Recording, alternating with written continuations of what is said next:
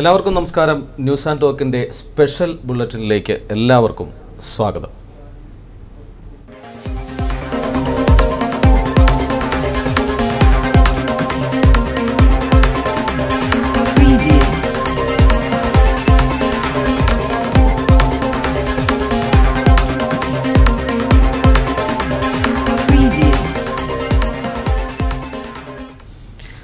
News talk ഇപ്പോൾ ഇന്ന് ചർച്ച ചെയ്യുന്ന വിഷയം. ലോക്സഭാ തെരഞ്ഞെടുപ്പ് രണ്ടായിരത്തി പത്തൊൻപതിന്റെ ഏറ്റവും വലിയ ചരിത്ര പ്രഖ്യാപനം എന്ന് തന്നെ വിശേഷിപ്പിക്കാവുന്ന ഒരു പ്രഖ്യാപനമാണ് ഉണ്ടായിരിക്കുന്നത്. ദേശീയ നേതൃത്വം നേരിട്ട് വയനാട്ടിൽ മത്സരിക്കുന്ന ഒരു കാഴ്ച. പ്രത്യേകിച്ച് യു ഡി എഫ് ഭാഗത്തു നിന്നും രാഹുൽ ഗാന്ധി വയനാട്ടിൽ സ്ഥാനാർത്ഥിയായി പ്രഖ്യാപിക്കപ്പെട്ടിരിക്കുന്നു. വളരെ നീണ്ട അനിശ്ചിതത്വത്തിന് ഒടുവിൽ രണ്ടാഴ്ച നീണ്ട അനിശ്ചിതത്വമാണ് വയനാട്ടിലെ വോട്ടർമാർക്ക് സമ്മാനിച്ചുകൊണ്ട് അവസാനം അതിനൊരു വിരാമമായിരിക്കുന്നു. രാഹുൽ ഗാന്ധി വയനാട് ലോക്സഭാ മണ്ഡലത്തിൽ സ്ഥാനാർത്ഥിയാകുമെന്ന് പ്രഖ്യാപിക്കപ്പെട്ടിരിക്കുന്നു. A K Antony A I C C വക്താവ് എ കെ ആന്റണി ഇന്ന് വാർത്താ സമ്മേളനത്തിൽ പ്രഖ്യാപിച്ചതാണ് ഇക്കാര്യം. ഇക്കാര്യമാണ് ഇന്ന് ന്യൂസ് ആൻഡ് ടോക്കിൽ ചർച്ച ചെയ്യപ്പെടുന്നത്. പ്രത്യേകിച്ച് ഈ ഒരു ചർച്ചയുടെ പ്രാധാന്യം എന്ന് പറയുന്നത് വയനാട് പോലെ ഒരു ലോക്സഭാ മണ്ഡലത്തിൽ ദേശീയ നേതൃത്വം നേരിട്ട് സ്ഥാനാർത്ഥിയായി നിൽക്കുന്നു എന്നുള്ളത് തന്നെയാണ് ഈ ഒരു തെരഞ്ഞെടുപ്പിന്റെ പ്രത്യേകത. അതോടൊപ്പം സി പി ഐ സ്ഥാനാർത്ഥി പി പി സുനീറുണ്ട്. അതുപോലെ ബി ജെ പിയുടെ സ്ഥാനാർത്ഥിത്വം പ്രഖ്യാപിക്കപ്പെട്ടിട്ടില്ല എന്ന് തന്നെ വേണമെങ്കിൽ പറയാം. അനു അതും ഒരു അനിശ്ചിതത്വത്തിൽ ആയിരിക്കുന്നു. അവിടെയും സ്ഥാനാർത്ഥികൾ മാറി വരാം. ബി ഡി ജെ എസിന്റെ സീറ്റ് ബി ജെ പി തിരിച്ചെടുക്കുമോ? ബി ജെ പിയുടെ ഒരു വി ഐ പി സ്ഥാനാർത്ഥി വയനാട്ടിലേക്ക് എത്തുമോ? അങ്ങനെ വി ഐ പി മണ്ഡലമായി വയനാട് ലോക്സഭാ മണ്ഡലം മാറുന്ന കാഴ്ചയിലേക്കാണ് പോകുന്നത്. തീർച്ചയായും മത്സരത്തിന്റെ ഏറ്റവും തീപാറുന്ന പോരാട്ടം എന്ന് വിശേഷിപ്പിക്കാവുന്നത് വയനാട് ലോക്സഭാ മണ്ഡലത്തിലായിരിക്കും. രണ്ടായിരത്തി പത്തൊൻപത് ലോക്സഭാ തെരഞ്ഞെടുപ്പിന്റെ മുഴുവൻ കണ്ണുകളും ഒരുപക്ഷെ തിരിയുക വയനാട് ലോക്സഭാ മണ്ഡലത്തിലേക്കായിരിക്കും. അതുകൊണ്ട് തന്നെ ഇന്നത്തെ ന്യൂസ് ആൻഡ് ടോക്കിന്റെ വിഷയം മറ്റൊന്നുമല്ല വയനാട് ലോക്സഭാ മണ്ഡലം വി ഐ പി മണ്ഡലമായി മാറുകയാണോ? വി വി ഐ പി മണ്ഡലമായി മാറുകയാണോ മാറുകയാണോ എന്ന് ചോദിക്കേണ്ടിയിരിക്കുന്നു. ഇന്നത്തെ ന്യൂസ് ആൻഡ് ടോക്കിൽ ഈ വിഷയവുമായി ചർച്ച ചെയ്യാൻ നമ്മളോടൊപ്പം എത്തിയിട്ടുള്ളത് Shri K Vinayan. D C C general secretary Shri K Vinayan. ഒപ്പം C S Stalin C P ഐയുടെ അസിസ്റ്റന്റ് സെക്രട്ടറി അതോടൊപ്പം തന്നെ Shri P G Anandkumar B J P ജില്ലാ ജനറൽ സെക്രട്ടറി മൂന്ന് പേർക്കും ന്യൂസ് ആൻഡ് ടോക്കിലേക്ക് സ്വാഗതം. വളരെ ചൂടുള്ള ചർച്ചകൾക്ക് ഉള്ള സമയത്താണ് മൂന്ന് പേരും നമ്മുടെ ഈ സ്റ്റുഡിയോയിൽ എത്തിയിരിക്കുന്നത്. തീർച്ചയായും വലിയ ചർച്ചാ വിഷയമാകുന്ന ഒരു തെരഞ്ഞെടുപ്പിന്റെ ചുക്കാൻ പിടിക്കുന്ന നേതൃ നിര നിര തന്നെയാണ് ഇന്നത്തെ ന്യൂസ് ആൻഡ് ടോക്കിൽ പങ്കെടുക്കുന്നത്. ശ്രീ കെ വിനയൻ ഒരുപാട് അനിശ്ചിതത്വങ്ങൾക്കൊടുവിൽ ശ്രീ രാഹുൽ ഗാന്ധി വയനാട്ടിലെ സ്ഥാനാർത്ഥിയായി പ്രഖ്യാപിക്കപ്പെട്ടു. ചരിത്ര സംഭവമായി കോൺഗ്രസ് നേതൃത്വം കാണുന്നു. വോട്ടർമാർക്കിടയിൽ വലിയ സ്വാധീനം ചെലുത്തുമെന്ന് പ്രതീക്ഷിക്കപ്പെടുന്നു കോൺഗ്രസ് നേതൃത്വം. യു ഡി എഫിന്റെ അണികളെല്ലാം വലിയ ആഹ്ലാദ തിമിർപ്പിലാണ്. എങ്ങനെ കാണുന്നു ഈ ഒരു സ്ഥാനാർത്ഥിത്വത്തെ? ഇന്ത്യയുടെ പൊളിറ്റിക്കൽ മാപ്പിലേക്ക് വയനാട് എന്ന് പറയുന്ന ഈ ലോക്സഭാ മണ്ഡലം രാഹുൽ ഗാന്ധിയുടെ സ്ഥാനാർത്ഥിത്വത്തോടുകൂടി എഴുതി ചേർക്കപ്പെട്ടിരിക്കുകയാണ്. അനിശ്ചിതത്വം എന്ന ഒരു സാഹചര്യമല്ല. നേരെ മറിച്ച് അഖിലേന്ത്യാ കോൺഗ്രസ് കമ്മിറ്റി അതിന്റെ പ്രസിഡന്റ് ശ്രീ രാഹുൽ ഗാന്ധി ദക്ഷിണേന്ത്യയിൽ ഒരു സീറ്റിൽ മത്സരിക്കാൻ തീരുമാനിക്കുന്നു. പല സീറ്റുകൾ അതിനുവേണ്ടി പരിഗണിക്കുന്നു. സ്വാഭാവികമായിട്ടും അഖിലേന്ത്യാ കോൺഗ്രസ് കമ്മിറ്റി പ്രസിഡന്റ് മത്സരിക്കുമ്പോഴുള്ള മുൻ തയ്യാറെടുപ്പുകൾ മുന്നൊരുക്കങ്ങൾ അതിനുവേണ്ടി എ ഐ സി സി എടുത്ത ഒരു സമയം മാത്രമാണ് ഈ കഴിഞ്ഞ ദിവസങ്ങൾ. നാലാം തീയതിയാണ് നോമിനേഷൻ കൊടുക്കേണ്ടത്. സ്ഥാനാർത്ഥി പ്രഖ്യാപനം പൂർത്തിയായിരിക്കുന്നു. വയനാട് വലിയ ആവേശത്തോടു കൂടി വയനാട് മാത്രമല്ല കേരളം തന്നെ വലിയ ആവേശത്തോടു കൂടിയാണ് രാഹുൽ ഗാന്ധിയുടെ സ്ഥാനാർത്ഥിത്വത്തെ നോക്കിക്കാണുന്നത്. നാല് മൂന്ന് സംസ്ഥാനങ്ങളോട് അതിർത്തി പങ്കിടുന്ന സൗത്ത് ഇന്ത്യയിലെ ഒരു ഗോൾഡൻ ട്രയാങ്കിൾ എന്ന് വിശേഷിപ്പിക്കാവുന്ന ഒരു കോൺസ്റ്റിറ്റ്യുവൻസിയാണ് വയനാട്. കർണാടകയോടും തമിഴ്നാടിനോടും അതോടൊപ്പം കേരളവും അങ്ങനെ മൂന്ന് സംസ്ഥാനങ്ങളിൽ സ്വാധീനം ചെലുത്താൻ കഴിയുന്ന ഒരു മണ്ഡ അതിർത്തി പങ്കിടുന്ന ഒരു മണ്ഡലത്തിൽ അഖിലേന്ത്യാ കോൺഗ്രസ് കമ്മിറ്റിയുടെ പ്രസിഡന്റ് ഇന്ത്യയുടെ ഭാവി പ്രധാനമന്ത്രി മത്സരിക്കാൻ പോകുന്നു. അതിന്റെ ഒരു ആവേശം എല്ലാ പ്രദേശങ്ങളിലും നമുക്ക് കാണാൻ കഴിയും.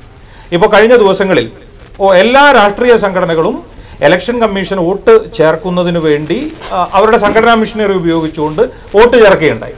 എന്നാൽ രാഹുൽ ഗാന്ധി വയനാട്ടിൽ മത്സരിക്കാൻ സാധ്യത എന്ന പ്രഖ്യാപനം വന്നതിന് ശേഷം ഇരുപത്തി അയ്യായിരം വോട്ടുകൾ ഈ വയനാട് പാർലമെന്റിൽ മാത്രമായി ചേർക്കപ്പെട്ടിരിക്കുകയാണ്. അത് സാധാരണ ഈ പറഞ്ഞ എല്ലാ സംഘടനകളും ഇടത് വലത് ബി ജെ പി അടങ്ങുന്ന എല്ലാ സംഘടനകളും അവരുടെ സംഘടനാ മിഷനറി ഉപയോഗിച്ച് വോട്ടർമാരെ ചേർക്കാൻ ശ്രമിച്ചിട്ടും ഈ പ്രക്രിയയുടെ ഭാഗമാകാതിരുന്ന പുതിയ വോട്ടർമാർ. രാഹുൽ ഗാന്ധിക്ക് വോട്ട് ചെയ്യാൻ വേണ്ടി സ്വമേധയാ മുന്നോട്ട് വന്ന് വോട്ട് ചേർത്ത് വോട്ടർ പട്ടികയുടെ ഭാഗമാകാൻ തീരുമാനിക്കുക. അത്രത്തോളം ഉറപ്പ് കോൺഗ്രസ് നേതൃത്വത്തിന് രാഹുൽ ഗാന്ധി സ്ഥാനാർത്ഥിയാകുമ്പോൾ പറയാൻ സാധിക്കുന്നത് എങ്ങനെയാണ്? എല്ലാവരും വോട്ട് ചെയ്യാൻ രാഹുൽ ഗാന്ധിക്ക് വോട്ട് ചെയ്യാൻ തീരുമാനിച്ചു എന്ന് ഉറപ്പിക്കുന്നത് ഇപ്പോഴേ ശരിയാണോ? അല്ല സ്വാഭ എല്ലാ ശ്രമങ്ങളുടെയും ഭാഗമായി വോട്ട് ചേർക്കപ്പെടാത്ത ആളുകൾ പല ഭാഗത്ത് നമ്മൾ പല കുറി ആവശ്യമായ രേഖകൾ കൊണ്ടുവരൂ ചേർക്കാമെന്ന് പറഞ്ഞിട്ട് അതിന് താല്പര്യം കാണിക്കാത്ത ആളുകൾ. ഇനിയും സമയമുണ്ടോ എന്ന് ചോദിച്ച് നമ്മളെ ബന്ധപ്പെട്ട് ഓൺലൈനിലും അല്ലാതെയുമായി വോട്ടുകൾ ചേർക്കപ്പെടുകയാണ്. അപ്പൊ അത്തരത്തിലൊരു ആവേശം. സ്വാഭാവികമായിട്ടും ആ സ്ഥാനാർത്ഥി പ്രഖ്യാപനം വന്നതിന് ശേഷം ഈ പാർലമെന്റ് മണ്ഡലത്തിന്റെ എല്ലാ പ്രദേശങ്ങളിലും ഒരു ആഹ്വാനവും ഇല്ലാതെ ആളുകൾ കൊടിയും തോരണവുമായി റോഡിലിറങ്ങുകയാണ് പ്രവർത്തകർ വലിയ ആവേശത്തിലാണ്.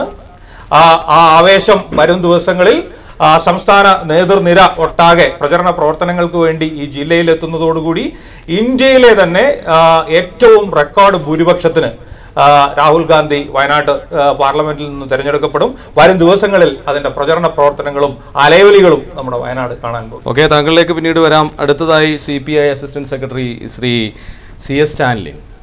ഭയപ്പെടുത്തുന്നുണ്ടോ രാജീവ് രാഹുൽ ഗാന്ധിയുടെ ഈ ഒരു സ്ഥാനാർത്ഥിത്വം? ഭയപ്പെടുത്തുന്നുണ്ടോ? പ്രത്യേകിച്ച് നേരത്തെ തന്നെ പി പി സുനീറിനെ പ്രഖ്യാപിച്ചതിൽ എന്തെങ്കിലും അപാകതകൾ ഉണ്ടായിപ്പോയി എന്നിപ്പോൾ തോന്നിപ്പോകുന്ന ഒരവസ്ഥയോ മറ്റോ ഉണ്ടോ എൽ ഡി എഫിന്? ഇടതുപക്ഷത്തെ സംബന്ധിച്ചിടത്തോളം യാതൊരു ഭയമില്ല എന്ന് മാത്രമല്ല ഉത്തരേന്ത്യയിൽ നിന്ന് ബി ജെ പി മുഖ്യശത്രുവാണെന്ന് ഇതുവരെ ജനങ്ങളോട് പറഞ്ഞിട്ട് ആ ബി ജെ പിയെ ഭയന്ന് അവിടെ നിന്ന് അവരുടെ സുരക്ഷിതമായൊരു സീറ്റ് അന്വേഷിച്ച് പലായനം ചെയ്തിട്ടാണ് വയനാട്ടിലേക്ക് വരുന്നത്. അക്കാര്യത്തിൽ അവിടെ പേടിച്ച് ഓടി ഇങ്ങോട്ടേക്ക് വരുന്നവർ ഞങ്ങളെന്തിനു ഭയപ്പെടണം? കഴിഞ്ഞ മൂന്നാഴ്ചയായിട്ട് ഞങ്ങളുടെ നമ്മുടെ സ്ഥാനാർത്ഥി ശ്രീ പി പി സുനീർ അരിവാൾ നെൽക്കതിർ ചിഹ്നത്തിൽ വോട്ട് ചോദിച്ച് ഏതാണ്ട് മുന്നൂറിനടുത്ത ഗ്രാമങ്ങൾ സ്വീകരണങ്ങൾ ഏറ്റു വാങ്ങിക്കൊണ്ട് മൂന്നര ലക്ഷത്തോളം ജനങ്ങളോട് സംവദിച്ചു കഴിഞ്ഞു. ജന അടി അടി- അടിസ്ഥാനപരമായിട്ട്. ഇപ്പോൾ നേരത്തെ ഏഹ്, ബഹു- ബഹുമാനപ്പെട്ട വിനയൻ പറയുകയുണ്ടായി ഈ യാതൊരുവിധ പിന്നെ അതിനെ ആശങ്കിക്കും വഴയിൽ വകയില്ല. വളരെ ഉത്സാഹത്തിമുറപ്പിലാണ് അതിന് മറുപടി രാഹുൽ ഗാന്ധി ഒരു സാധാരണ അല്ല അല്ല അല്ല അത് ഞങ്ങൾക്കും ബോധ്യമുണ്ട്. ഒരു ദേശാന്തരീയ പ്രശസ്തനായ ഈ രാജ്യത്തെ സംബന്ധിച്ച് നിർണായകമായിട്ടുള്ള സംഭവം ശരി. ഇതിനെ സംബന്ധിച്ച് കഴിഞ്ഞ ഏതാണ്ട് ഒൻപത് ദിവസങ്ങൾക്ക് മുമ്പാണ് ഇത് ആരംഭിക്കുന്നത്. ഈ വിസ്ഫോടനം ആരംഭിക്കുന്നത്. മിനിങ്ങാന്ന് അല്ലെങ്കിൽ ഈ കഴിഞ്ഞ രണ്ട് ദിവസങ്ങൾക്കിടയിൽ യു ഡി എഫിന്റെ ജില്ലാ കൺവീനർ അതായത് മുസ്ലിം ലീഗിന്റെ ജില്ലാ പ്രസിഡന്റ് അടക്കം മുസ്ലിം ലീഗ് പ്രവർത്തകർക്ക് മാത്രമല്ല യു ഡി എഫ് ആകെ ആശങ്കയിലാണെന്നും നിരാശയിലാണെന്നും പറഞ്ഞു കഴിഞ്ഞു. അദ്ദേഹത്തിന്റെ തന്നെ പാർട്ടിയുടെ ജില്ലാ പ്രസിഡന്റ് എം എൽ എ അടക്കം പറഞ്ഞെന്താണ് പ്രവർത്തകരെ നിരാശയിലാക്കിയിരിക്കുന്നു എന്ന് വന്നതിന് ശേഷം എന്ത് അത്ഭുതങ്ങളാണ് സംഭവിക്കാൻ പോണത്? അപ്പോൾ ദക്ഷിണേന്ത്യക്ക് പരിഗണന കൊടുത്തു എന്നതിനേക്കാൾ ഉപരി വയനാടിനെ ആശങ്കപ്പെടുത്തുന്നത് ഇപ്പോൾ ആശങ്കാകുലരാക്കുന്നത് ഞങ്ങൾ ഇത്രയും ജനങ്ങളെ കണ്ട അടിസ്ഥാനത്തിൽ ആശങ്കാകുലരാക്കുന്നത് രണ്ട് സ്ഥാനത്ത് മത്സരിക്കുന്നു. ഇപ്പോൾ കഴിഞ്ഞ ദിവസം അദ്ദേഹം പറയുകയുണ്ടായി അമേഡിയന്റെ കുടുംബ വീട് പോലെയാണെന്ന്. ഈ രണ്ട് സ്ഥലത്ത് മത്സരിച്ച് ജയിച്ചു എന്ന് എനിക്ക് അങ്ങനെ സങ്കല്പിക്കാമല്ലോ. സങ്കല്പിച്ചാൽ എവിടെയാണ്? ജനങ്ങൾക്കെല്ലാം അറിയാം അത് അമേഠി നിലനിർത്തിക്കൊണ്ട് വയനാട് രാജിവെക്കുന്നുള്ളത്. പിന്നെ ഈ വയനാടിന്റെ അവസ്ഥ എന്താ? വയനാടിന് ഒരു അനാഥമാക്കപ്പെടുകയാണ്. കഴിഞ്ഞ പത്ത് വർഷമായിട്ട് ഈ വയനാട് ഒരു അനാഥമായ അവസ്ഥയിലാണ് ഇന്ത്യൻ പാർലമെന്റിൽ ജനങ്ങളെ സംബന്ധിച്ചിടത്തോളം. എം പി എന്ത് ചെയ്തു? കോൺഗ്രസ് എന്ത് ചെയ്യുന്നല്ല ഞാൻ പറയുന്നത് ജനങ്ങൾ ഈ നാട്ടിൽ വയനാടിന്റെ പാർലമെന്റ് മണ്ഡലത്തിലെ സാധാരണ ജനങ്ങളെ കൃഷിക്കാരെ തൊഴിലാളികളെ അവരുടെ അവസ്ഥ എടുത്തു കഴിഞ്ഞാൽ അവരൊരു അനാഥരാക്കപ്പെട്ടവരായിരുന്നു ഇനിയും വരാൻ പോകുന്ന സാഹചര്യം അതല്ല ആ- ഒരു രീതിയിലാണെന്നുള്ളതിനെ കുറിച്ച് വയനാട് പാർലമെന്റ് ജനങ്ങൾ ഉത്കണ്ഠാകുലരാണ്. ഓക്കെ താങ്കളിലേക്ക് താങ്കളിലേക്ക് തന്നെ തിരിച്ചു വരാം പിന്നീട്. Shri P G Anand Kumar B J പിയുടെ ജില്ലാ ജനറൽ സെക്രട്ടറി.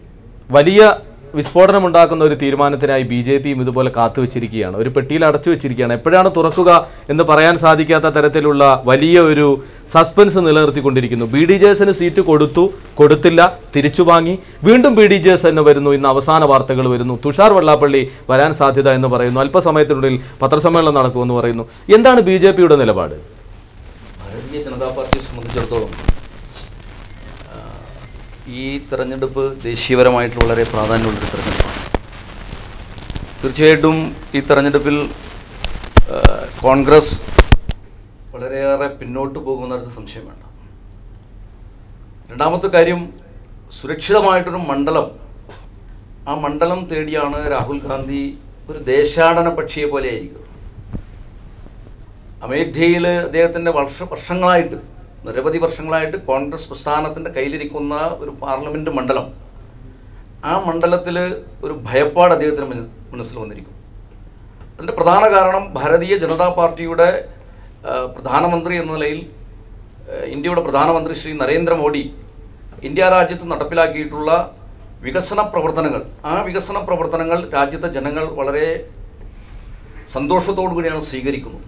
അതിന്റെ സ്വീകാര്യത കണ്ടിട്ട് ശ്രീ രാഹുൽ ഗാന്ധിയും കോൺഗ്രസും ഒരു ഭയത്തിന്റെ മുന്നിലാണ് നിൽക്കുന്നത്. രണ്ടാമത്തെ കാര്യം മൂന്നാമത്തെ കാര്യം വയനാട് ഒരു ഇത് ഒരു പെട്ടിയിലടച്ച മാജിക് ഒന്നുമില്ല. Bharatiya Janata Party N D A എന്ന് പറയുന്ന ഘടകകക്ഷി എൻ ഡി എയിലുള്ള ഘടകകക്ഷിയായിട്ടുള്ള ബി ഡി ജെ എസിന് കേരളത്തിലെ പ്രധാനപ്പെട്ട നാല് സീറ്റുകൾ കൊടുത്തിട്ടുണ്ട്. ആ സീറ്റുകളിൽ വയനാട് പാർലമെന്റ് മണ്ഡലമുണ്ട്. ആ മണ്ഡലത്തിലെ സ്ഥാനാർത്ഥിയെ സംബന്ധിച്ചിടത്തോളം B D J N D എയുടെ കൺവീനറും കൂടിയായിട്ടുള്ള തുഷാർ വെള്ളാപ്പള്ളി അവരവരുടെ തീരുമാനമെടുക്കും. ഏതായാലും ആ തീരുമാനം ഇന്ന് തോടെ പ്രഖ്യാപനം ഉണ്ടാകും. എൻ ഡി എയുടെ നാഷണൽ ചെയർമാൻ ശ്രീ അമിത്ഷാ അദ്ദേഹം ഡൽഹിയിൽ നിന്ന് ആ പ്രഖ്യാപനം നടത്തും. തുഷാർ വെള്ളാപ്പള്ളി വയനാട്ടിലേക്ക് വന്നു കഴിഞ്ഞാൽ ഈ പറയുന്ന ചിത്രമൊക്കെ മാറും എന്നാണ് ഞങ്ങൾ പൂർണമായിട്ടും പ്രതീക്ഷിക്കുന്നത് ഇവിടെ ശ്രീ കെ വിനയനോട് ചോദിക്കാനുള്ള ചോദ്യം. ഒരുപാട് മണ്ഡലങ്ങൾ മുൻപ് പഴയ കോൺഗ്രസിന്റെ നേതാക്കന്മാർ ഇന്ദിരാഗാന്ധി അടക്കമുള്ള സോണിയാഗാന്ധി അടക്കമുള്ള ആളുകൾ ആന്ധ്രാപ്രദേശിലും ബാംഗ്ലൂരിലും അതായത് കർണാടക സംസ്ഥാനത്തിലെ ചില മണ്ഡലങ്ങളിലൊക്കെ മത്സരിച്ചിട്ടുണ്ട്. പക്ഷെ അന്നൊക്കെ കോൺഗ്രസിന് അനുകൂലമായ പല ഘടകങ്ങൾ നിലനിന്നിരുന്നു. പിന്നീട് ആ തെരഞ്ഞെടുപ്പിൽ വിജയിച്ചിട്ട് ബെല്ലാരി ഒഴിവാക്കുകയും ചെയ്തിട്ടുണ്ട് ശ്രീമതി സോണിയാഗാന്ധി. തീർച്ചയായും ഈ ഒരു തെരഞ്ഞെടുപ്പിൽ വലിയൊരു ചോദ്യചിഹ്നമായി ഇത്തരം ഒരു ചോദ്യം അവശേഷിക്കുന്നുണ്ട്. വയനാട് ശ്രീ രാഹുൽ ഗാന്ധി വിജയിച്ചാൽ അങ്ങനെ സങ്കല്പിച്ചാൽ ശ്രീ സി എസ് സ്റ്റാൻലിൻ അദ്ദേഹം പറഞ്ഞതുപോലെ ഇത്തരം ഒരു സംഭവത്തിന് എങ്ങനെ ഉത്തരം പറയാൻ സാധിക്കും വോട്ടർമാർക്ക് മുൻപിൽ? ഇവിടെ ശ്രീ അനന്തകുമാർ സൂചിപ്പിച്ച അമേഠിയിലെ പരാജയത്തെക്കുറിച്ച് അദ്ദേഹം സൂചിപ്പിച്ചു. കോൺഗ്രസ് ഏറ്റവും പ്രതിസന്ധി നേരിട്ട തെരഞ്ഞെടുപ്പായിരുന്നു കഴിഞ്ഞ ലോക്സഭാ തെരഞ്ഞെടുപ്പ്. ഒരു ലക്ഷത്തി അയ്യായിരം വോട്ടിന് അന്ന് ശ്രീ രാഹുൽ ഗാന്ധി അമേഠിയിൽ നിന്ന് തിരഞ്ഞെടുക്കപ്പെട്ടു. അന്ന് ബി എസ് പി വേറെ മാറി നിന്ന് മത്സരിക്കുകയായിരുന്നു. മറ്റ് ചെറു കക്ഷികൾ മാറി നിന്ന് മത്സരിച്ചിട്ടും ഇവരുടെ ആരുടെയും പിന്തുണയില്ലാതെ അദ്ദേഹം ജയിച്ചത് ഒരു ലക്ഷം വോട്ടിനാണ്. അപ്പോൾ അത്തരം എല്ലാ കക്ഷികളും ഒരുമിച്ച് ചേർന്ന് നിന്നുകൊണ്ട് ബി എസ് പി അടങ്ങുന്ന ഉത്തർപ്രദേശിലെ മറ്റ് കക്ഷികളെല്ലാം ചേർന്ന് നിന്ന് മത്സരിക്കുമ്പോൾ അത്തരം ഒരു പ്രതികൂല സാഹചര്യവും ഇന്ന് ദേശീയ രാഷ്ട്രീയത്തിൽ ഇല്ലാതിരിക്കുമ്പോൾ അമേഠിയിലെ പരാജയം എന്ന് പറയുന്ന ഒരു ചിന്തയ്ക്ക് പോലും ഇടയില്ല. അത്തരം ഒരു അത്തരം ഒരു ചർച്ചയ്ക്ക് പോലും പഴുതില്ലാത്ത ഒരു ഘട്ടത്തിൽ ദക്ഷിണേന്ത്യയിലെ ഒരു സീറ്റിൽ മത്സരിക്കുക. ശ്രീമതി സോണിയാഗാന്ധി ഇതിനു മുമ്പ് ബെല്ലാരിയിൽ മത്സരിച്ചിട്ടുണ്ട്.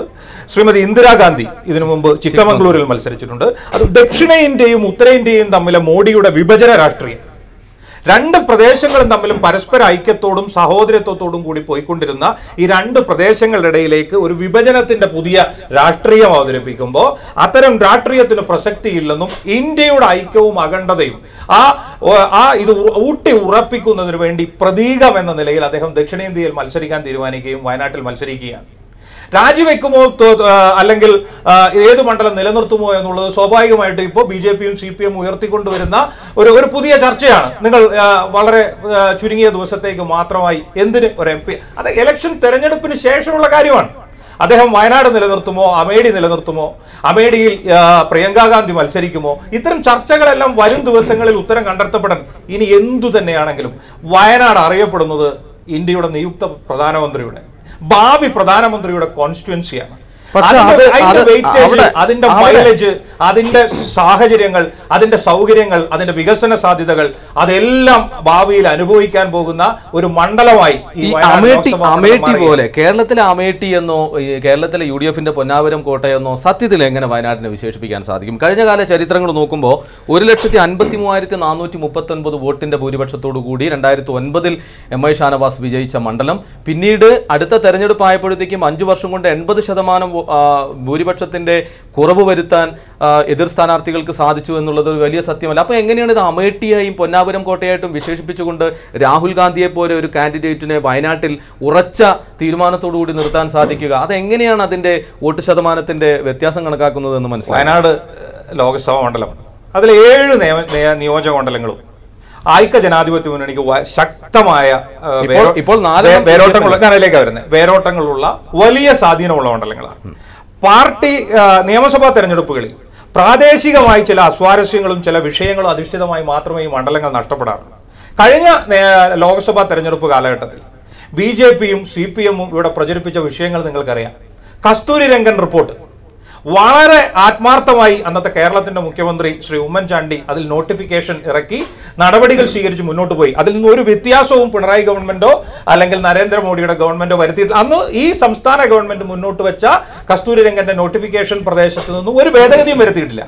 പക്ഷെ വയനാട് ജില്ലയിൽ നടത്തിയ പ്രചരണം നിങ്ങളുടെ വീടുകൾക്ക് പച്ച പെയിന്റ് അടിക്കേണ്ടി വരുന്നു. നിങ്ങളെ കൂട്ടായി ഒരു പ്രദേശത്ത് നിന്ന് മാറ്റിപ്പാർപ്പിക്കേണ്ടി വരുന്നു. വീട് വീടുകളിൽ എല്ലാം തുച്ഛമായ വിലയ്ക്ക് ഫോറസ്റ്റ് പ്രദേശങ്ങളിലെല്ലാം ഭൂമി വിറ്റ ആളുകൾ പാലായനം ചെയ്യുന്ന സാധാരണക്കാരനെ ഭയചിത്തരാക്കുന്ന തരത്തിലുള്ള ഒരു പ്രചരണം സി പി എമ്മിന്റെയും ബി ജെ പിയുടെയും ഭാഗത്തു നിന്ന് കഴിഞ്ഞ ലോക്സഭാ തെരഞ്ഞെടുപ്പിലുണ്ടായ ഒന്ന്. രണ്ട് എം ഐ ഷാനവാസിന്റെ നേതൃത്വത്തിൽ പല പ്രദേശത്തു നിന്നും കടുവയെ കൊണ്ടുവന്ന് വയനാടിന്റെ പല ഭാഗങ്ങളിൽ ഇറക്കി വിടുകയാണ്. ആ കടുവ നാട്ടിലേക്ക് ഇറങ്ങി വന്നുകൊണ്ട് ഭാവിയിൽ ഇതൊരു കടുവാ സങ്കേതമാക്കി മാറ്റാൻ പോവുകയാണ്. അങ്ങനെ അത്തരത്തിൽ മനുഷ്യരുടെ ഇടയിലേക്ക് പല രീതിയിലുള്ള ആശങ്ക മനുഷ്യരുടെ മനസ്സുകളിലേക്ക് കൊടുത്തുകൊണ്ട് അത് ഓട്ടാക്കി മാറ്റിക്കൊണ്ട് ആ എം പിയെ പരാജയപ്പെടുത്താൻ കഴിയുമോ എന്നൊരു സാഹചര്യം ഒരു പരീക്ഷണശാലയായിരുന്നു. അത് അതിന്റെ എല്ലാം സത്യാവസ്ഥ അതിന്റെ എല്ലാം വാസ്തവം ഇന്ന് ജനങ്ങൾ തിരിച്ചറിഞ്ഞിരിക്കുകയാണ്. ജനാധിപത്യ ഒരിക്കൽ കൂടി ഒരു മതേതര ജനാധിപത്യ ഗവൺമെന്റ് ഇന്ത്യയിൽ അധികാരത്തിൽ വരേണ്ടതിന്റെ സാഹചര്യം ജനങ്ങൾ തിരിച്ചറിഞ്ഞിരിക്കുന്നു. അതിനായി വോട്ട് ചെയ്യാൻ ജനങ്ങൾ തയ്യാറെടുത്തിരിക്കുന്നു. രാഹുൽ ഗാന്ധിയുടെ വരവോടുകൂടി അത് വർദ്ധിത വീര്യത്തോടുകൂടി വരും ദിവസങ്ങളിൽ അതിന്റെ പ്രചരണ പ്രവർത്തനങ്ങൾ രൂപപ്പെടുന്നതോടുകൂടി വയനാട് ഒരു പൊന്നാപുരം കോട്ടയായി തന്നെ വയനാട് ലോക്സഭാ മണ്ഡലം ഐക്യ ജനാധിപത്യ മുന്നണിയെ സംബന്ധിച്ചിടത്തോളം മാറും. ശ്രീ സി എസ് സ്റ്റാൻലി എങ്ങനെ പ്രതികരിക്കാൻ ഇതിനാ? ഇതിന് എന്ത് മറുപടി നൽകാൻ സാധിക്കും? അതൊരു വലിയ തമാശയാണ് അദ്ദേഹം പറയുന്നതായിട്ട് എനിക്ക് തോന്നുന്നത്. അതിന് കാരണം വയനാടിനെ അന്താരാഷ്ട്ര പ്രശസ്തമാക്കും ഇദ്ദേഹത്തിന്റെ സ്ഥാനാർത്ഥിത്വം എന്ന് പറഞ്ഞു രാഹുൽജിയുടെ. ശരി. ഈ വയനാട് എന്താ പ്രശസ്തമല്ലായിരുന്നോ?